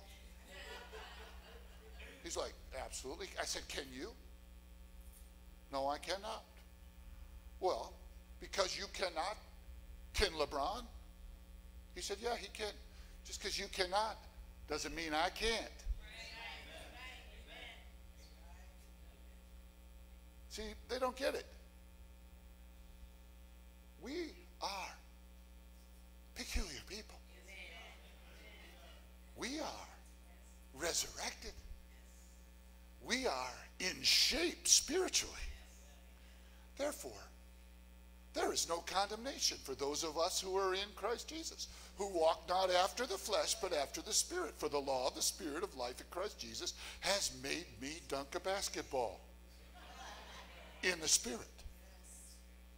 Free from the laws, from the constraints of sin and death. See? Is the word powerful or is the word powerful? It's not enough to know it's powerful. You got to know it's true. It's not enough to know it's true, and it's not enough to know that it's powerful and true. You got to know it's for you. Can't, you can't go much further than that because once you have it for you, then you then it internalizes in you, and then you understand that you are the Word. Oh, that's deep. Let this mind be in you, the same mind that was in Jesus, who thought it not blasphemy to be called all right, you're having a conniption now. You are him here once you go through that process. When you let the word fly out of you like I just did a few times there, can you feel it gets a little serious in here when I start quoting scripture like that? You know why? Because I believe it. You see, I am the true vine. My father is the husbandman. Those of you who don't bear fruit, you will be cut off. And you'll be thrown into the fire. But those of you, he, he's quick. Jesus is quick, and he's in me, and he's speaking right now. Those of you who don't get thrown into the fire, you're going to be purged.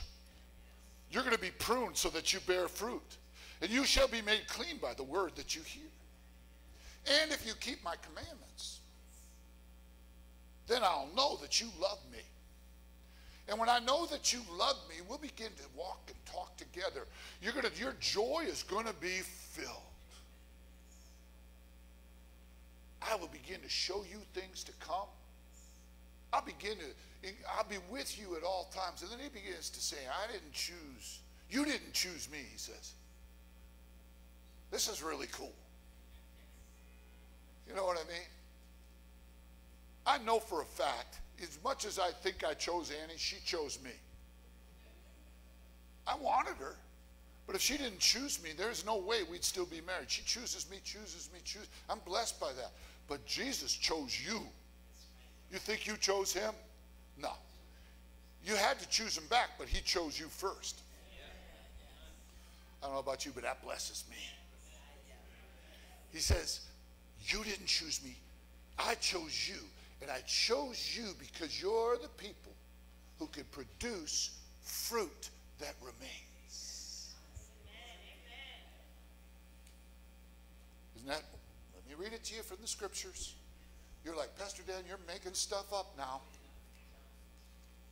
Pastor Dan, I, you quote that scripture so fast, sometimes I think you're quoting from the book of Dan. When you do this 35 years, the word starts to flow a little bit. I come back up to the paper for you, not for me. John 15. Slow down, you move too fast. You gotta make the morning last just. All right. Verse 16. You have not chosen me, but I've chosen you. Chapter 15 of book of John. And I've ordained you.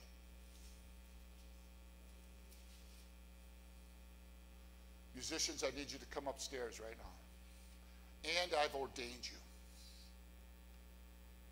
Hallelujah. That you should go and bring forth fruit, and that your fruit, fruit should remain. That what, eh, whatsoever you shall ask the Father in my name, he may give it you. All right. People have used that scripture. I need a new Schwinn bike. I need a new blender. I need a new pair of shoes. I need you to start asking for souls.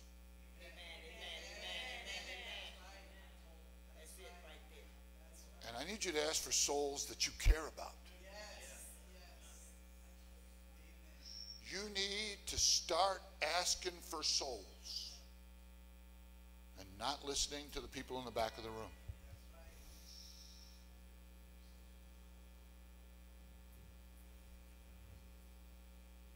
We need to ask for the head of Taliban. We need to be asking for the heads of state in Iran, in China, in Russia. Their souls. Not because we're afraid of them. This could be hard because look, God loves them. All right, I'm using them, but I could start listing a bunch of Americans. Let's make sure Donald Trump is saved. Should be asking for his soul. And no matter who you really, really like, you should be asking for their soul. But you also got to get out of your prayer closet and hit the street. We used to sing this song, Run to the streets and tell everybody, get ready, get ready. Run to the streets because Jesus is coming, get ready, get ready. Do not be afraid, right? Do not be ashamed. We're walking in grace and victory, right? For the Lord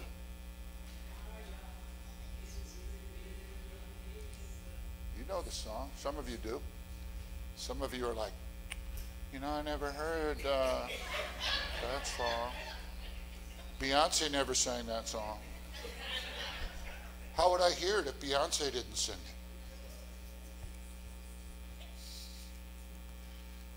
it?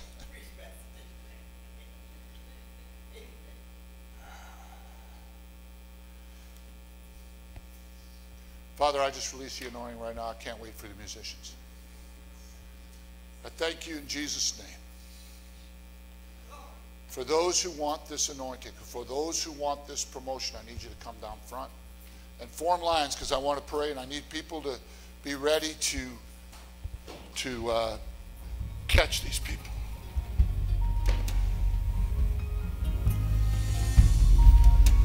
No, no, I want two lines. I don't want a big line up front. I just want two lines, one on each, one in the middle, one on this side over here.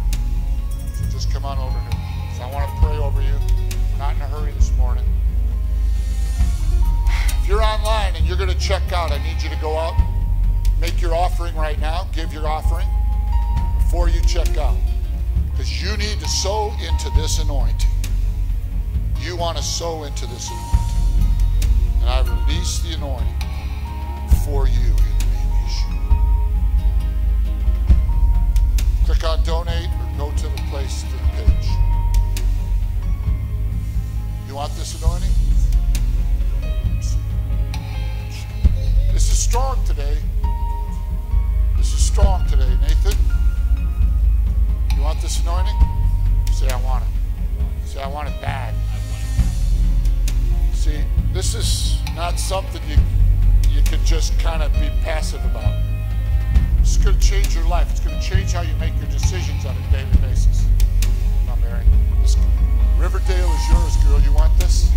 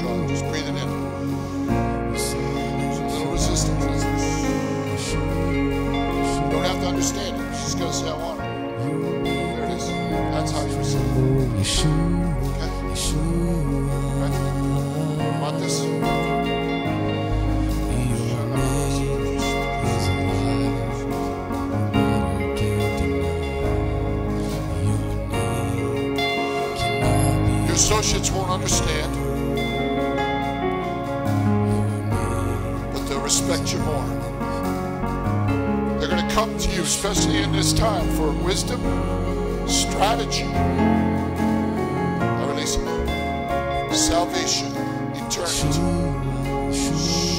You're gonna, you're gonna produce a group of soul winners in your sphere of influence. Many will come and know eternity. Won't be a big group, be like a small group behind the scenes.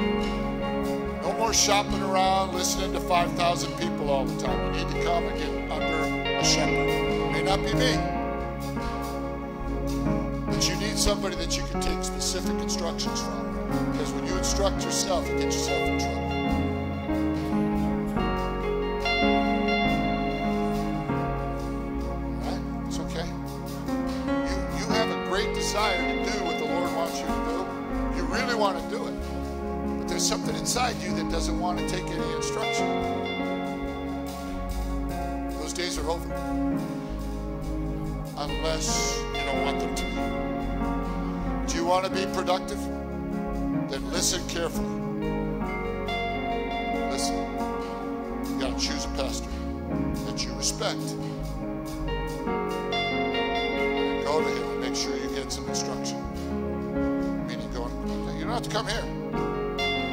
You go somewhere steady. At least twice a week. You want this? Because there's conditions on it.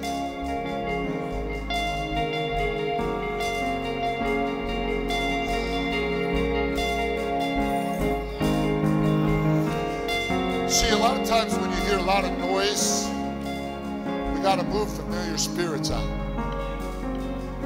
Sometimes we got some new people in here, they're like, oh, what's that? That's noise. Like, those of us who go to church, we know what that is. That's why I can tell it to be quiet. That's why I can tell you. Because I'm the boss right now. And I'm not speaking for me, the Holy Ghost is the boss. Tucker.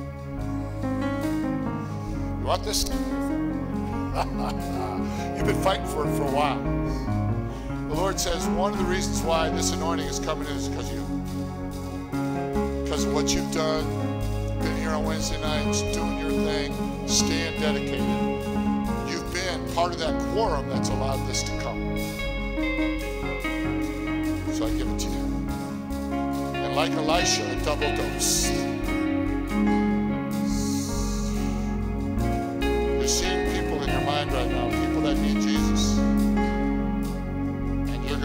To a door of opening.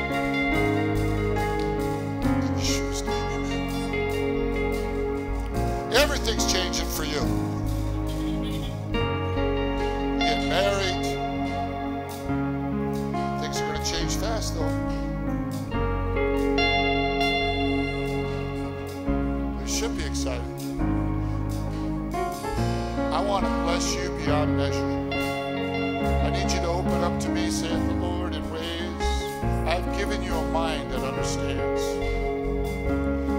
also given you positioning so that you can bridge gaps, bring healing, and bring forgiveness, and bring joy. But I'm going to bless you and bless you and bless you till you can't even contain it. So I'm telling you, oh, you're going to try to control this blessing, but I'm telling you, just be open. Children. I need you to be open. And just as I told all those followers of mine back in the day not to worry about money, tell you the same. Make no decisions based on money. Make every decision based on the anointing and on this blessing. And I'll get you the money.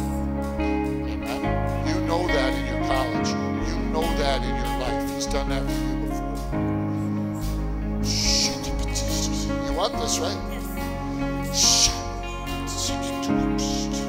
So many new things. So many new things. Come on, Kim. You sure you want this? You sure? Positive. Promotion, girl. I release it now for you. Cover you in the blood of Yeshua. Right now, real strong clarity right now. What, what is and what isn't me. And you're going to know. And you're going to have to make some decisions. I release that now in Yeshua's name. Fruitful, fruitful, fruitful. You know, the prophecy I spoke over her kind of hits you too. So do you really want this? You sure? You're newer to this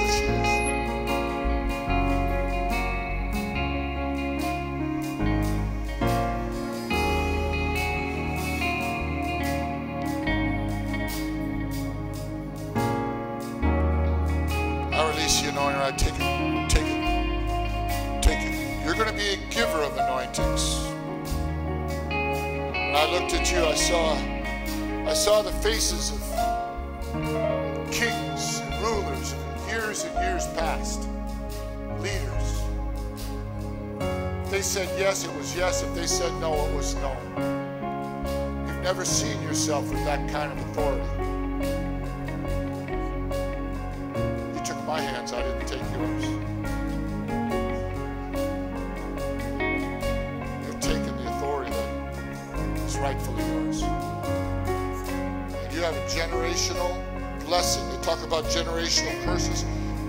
Are descended from a line of decision makers. And it's been tried to be destroyed generations before.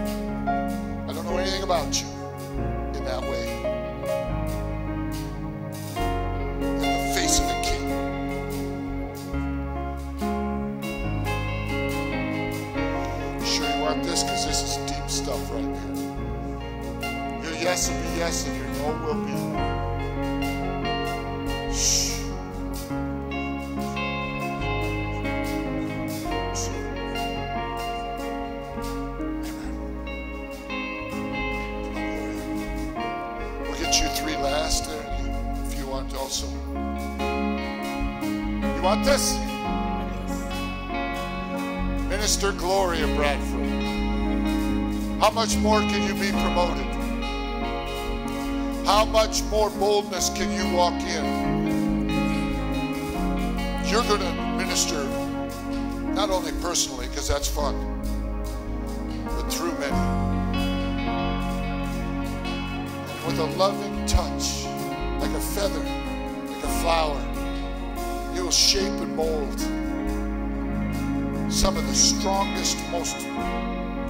powerful witnesses, and they'll come to you to be trained.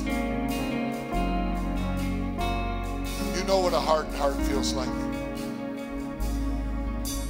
You know what rejection feels like.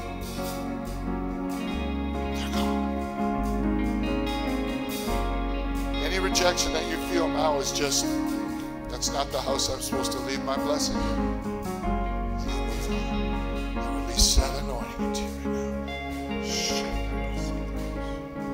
Wisdom, prophetic voice, joy, fulfillment, generations of productivity.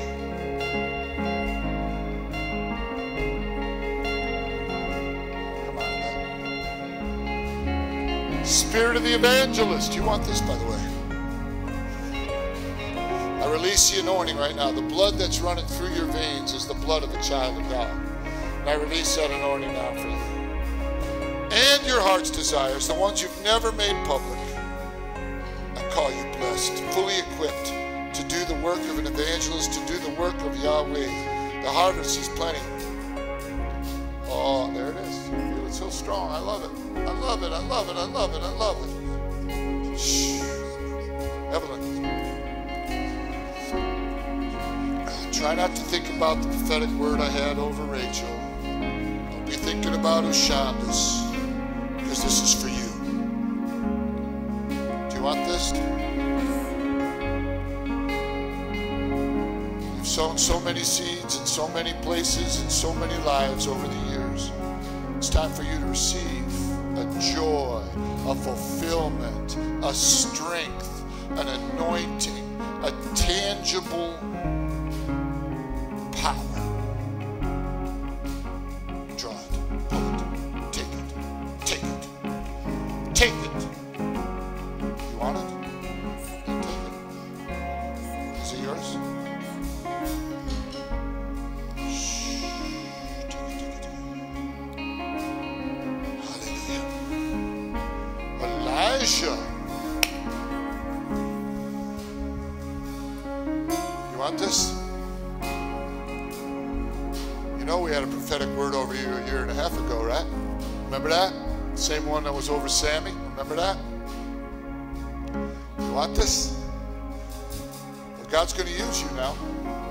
We talk about you becoming a craftsman.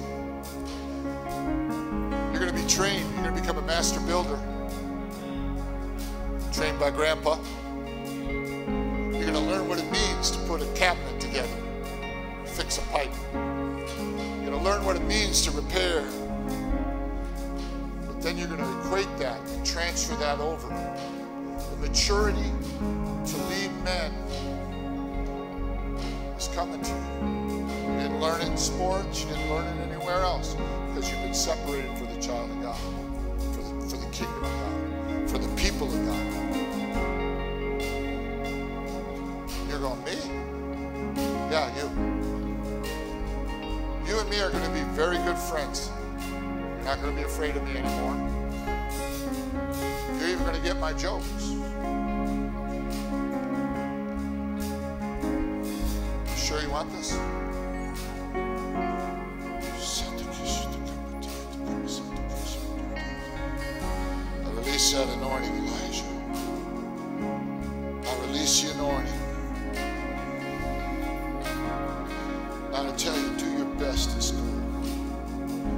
Especially in writing and reading. It hasn't come easy to you. It'll start to get, at first it'll still feel hard. If you get a D, don't be discouraged. If you get a C, don't be discouraged. Just keep reading. Keep writing. I want to I want to read what you write. Whatever you write about, I want to read it. Don't be discouraged. Because I'm putting in you ability, saith the Lord. You're going to be a writer.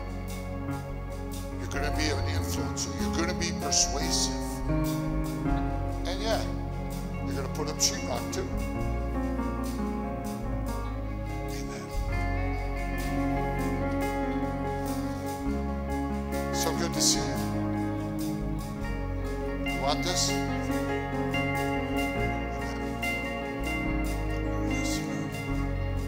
need you to set yourself apart, sanctify yourself, get to church more, watch more online. Right? Because your life is going to change now. Okay? Listen to Matt, listen to Kathy, let them help you, let them guide you. Because you're being separated now for the work of the Lord. Okay? All of your self esteem come from God. Not from the boy down the street, not from anywhere else. You're beautiful. You believe that? All right. I release it. Say, I want it.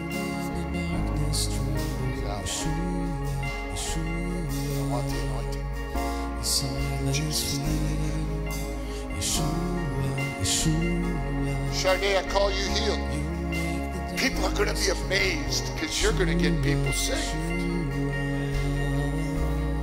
People have seen you and heard your outbursts, but even even with what you face every day, you're going to witness. And you're going to learn to say, Jesus is Lord.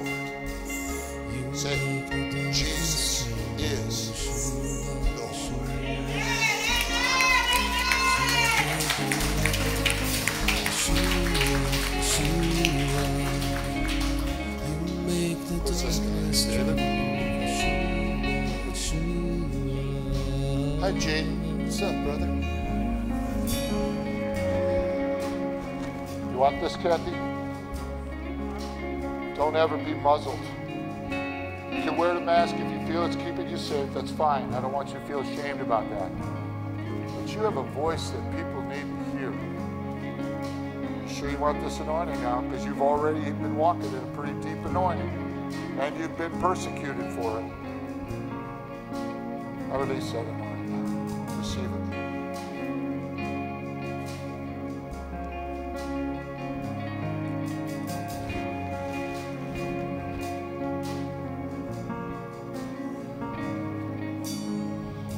bless this boy. The devil meant for harm, Yahweh's going to turn around for good. What was born in dishonor will be turned around 100% for honor. And no person will speak ill of you, Jaden. You are the anointed in a family of the anointing. And I release that anointing right now in Yeshua's name. Let me pray for you first right now, since this is your family. Voice, you've always had it. You've always had it. Your family knows it's on you. Every time, you know, we talk to you, you're quiet, you kind of, you know, you mumble, but when you get the, under the anointing, man, you, your mind is clear. You speak the truth of the ages. You have wisdom that everybody needs to hear. Not just the black community, even though it's really good for them. But I release this anointing into you now. And like Elijah, you and I are going to get closer because this anointing has to come out. You got to be teaching in this church. You hear me? I, I didn't get that before just now. It's time for you to teach the way you teach. Want this?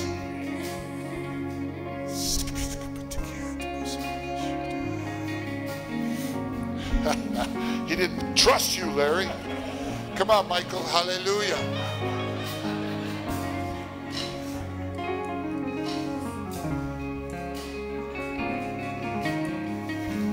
The devil's been trying to distract you, take you over here, take you over here. He's using your greatest skill against you, your analytical skill, your organizational skill. I want you to take some time and have communion and offer both of those up to the Lord because they were given to you for a reason. You see things, you see things in systems. You see things in, in order. You see proper prioritization. You see danger. You see opportunity. He's been trying to take your sight away through distracting, hence the ear issue.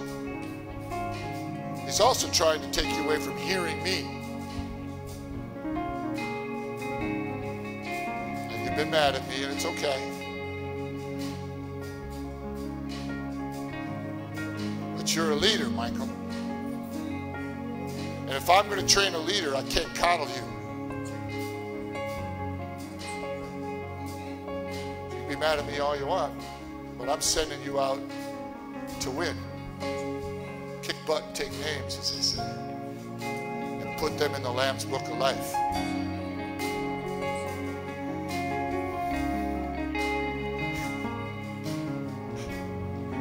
You know, I'm a father, I'm not a mother. Right?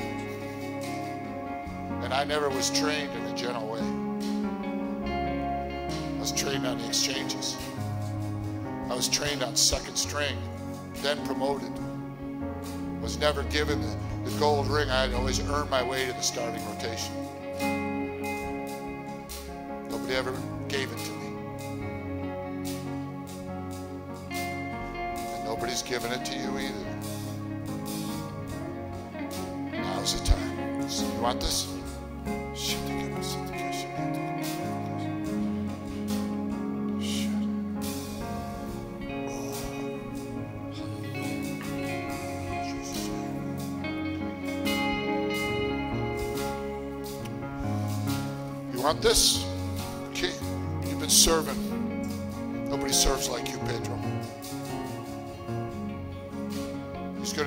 You opportunities to serve. It's going to bear fruit. Don't hesitate. Just invite people. Come to church. Come to my house. Spend some time with me. And then witness. Don't talk about what's on the internet. Don't talk about what's out there, that other prophecies are out there. Talk about eternal life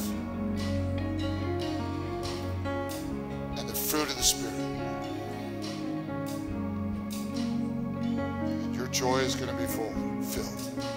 And the way people look at you is going to change. You're going to be highly respected, highly honored.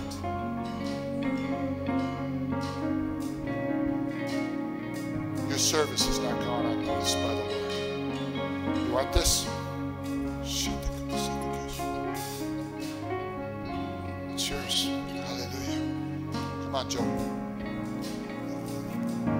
Want this, Joe? Okay, like your, don't be thinking about Evelyn's prophecy, Rachel's, Shonda's, Nathan's, none of that.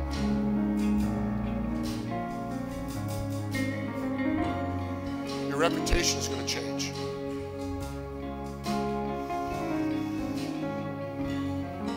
You've been known as solver of problems. You've been known as a servant in certain areas. Now you're going to be known as the giver of life. That your words come to pass. So be careful with your words. Watch your temper. Watch the words you throw around because you feel like you have to defend yourself. No more. I will defend you, saith the Lord. Somebody attacks you, somebody criticizes you, somebody mocks you, you laugh. Right? Know what I'm talking about. Too well, right? I respect you, saith the Lord. I always have. I have chosen you. You are from a generation of giants. You're from a lineage or lineage of people who've laid out so much loving treasure in heaven for me that you don't even know. And I'm not just talking about your dad. Before him and before him. Women. I release that anointing now in Yeshua's name. Shh, receive it.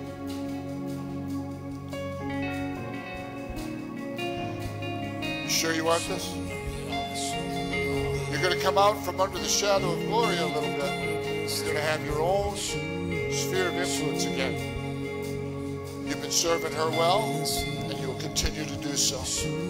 I'm adding some things to your life. In your neighborhood in Jersey, your old friends, the hood, different places, and some new places.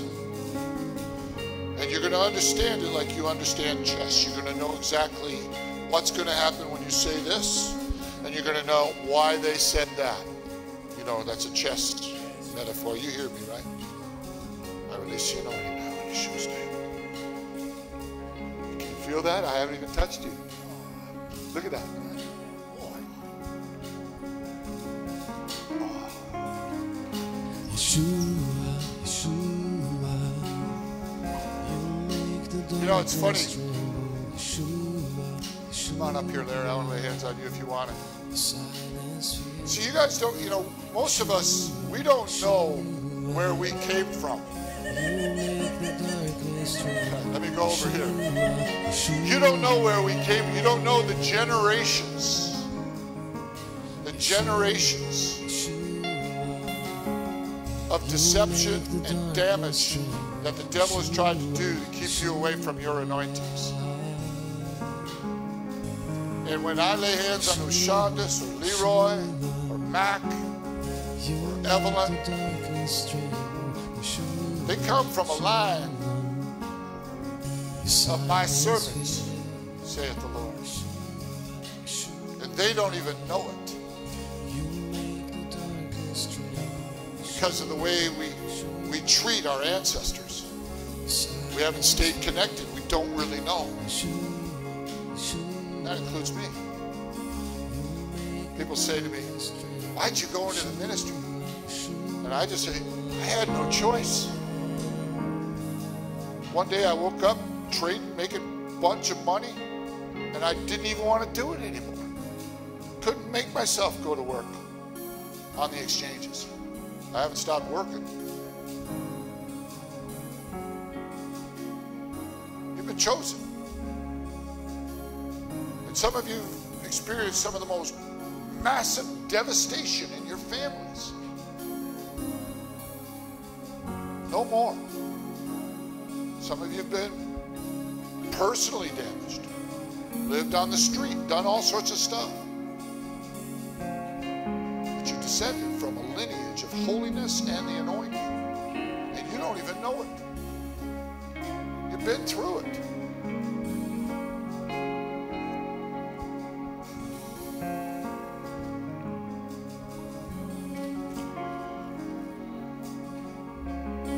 You want this?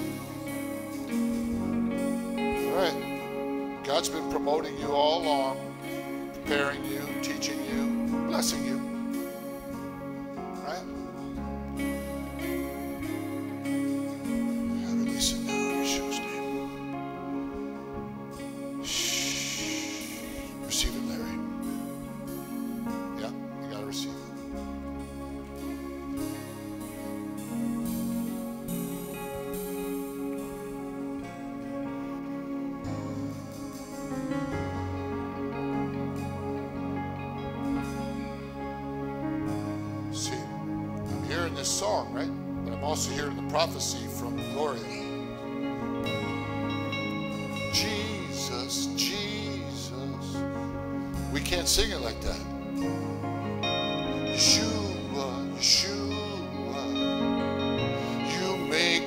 mountains thunder. Yeshua,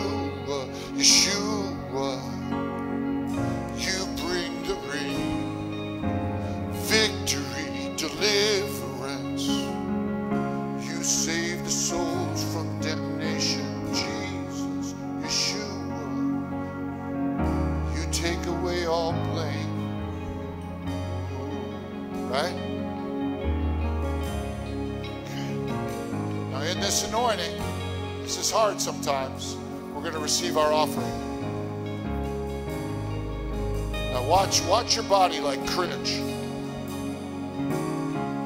Because your offering is in fact holy,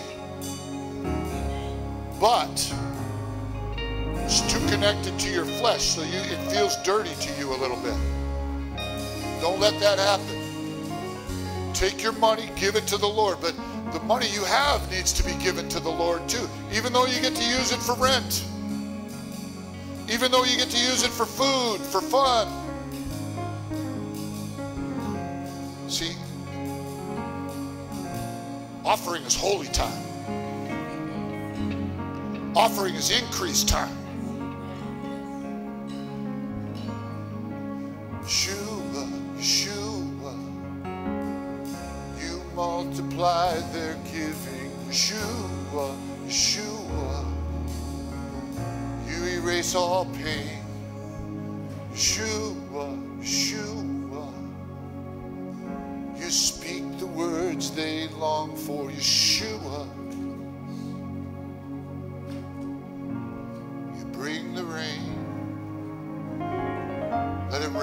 Homes.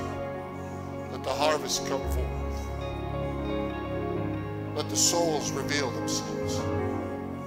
Let the love flow forth.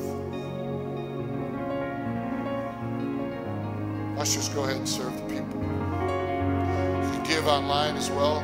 Text the word give to that number.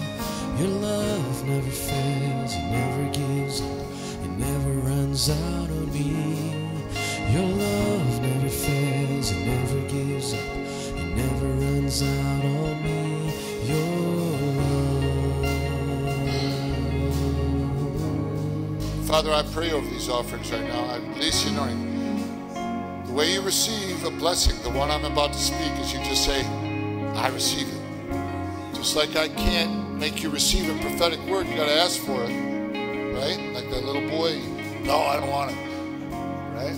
Then he came back and got it, right? You got to receive this blessing. You're the head, not the tail. You're above, not beneath. Everything you put your hand to prospers. So don't put your hand to stupid stuff. You're blessed going in and you're blessed going out. You're highly favored. You're highly anointed. You're safe. You're healthy. And you are healing going forth.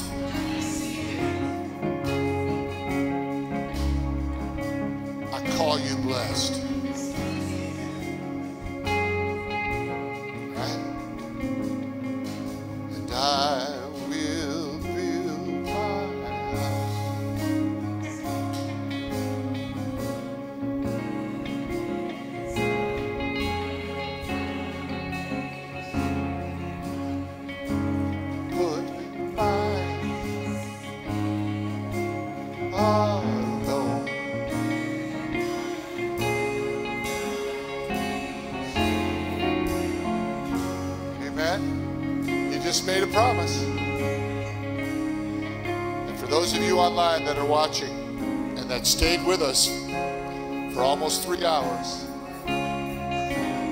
I call you blessed and I release the anointing to you. In Yeshua's name. Church, I need you to pray for me now because I'm driving back to the shore and I'm late. And mama's at home and she's like, if she's carrying a rolling pin when I get home, you know I'm in trouble. Can you just see Pastor Annie with a rolling pin? Hilarious. God bless you. Have a great week. See you soon. Bye bye.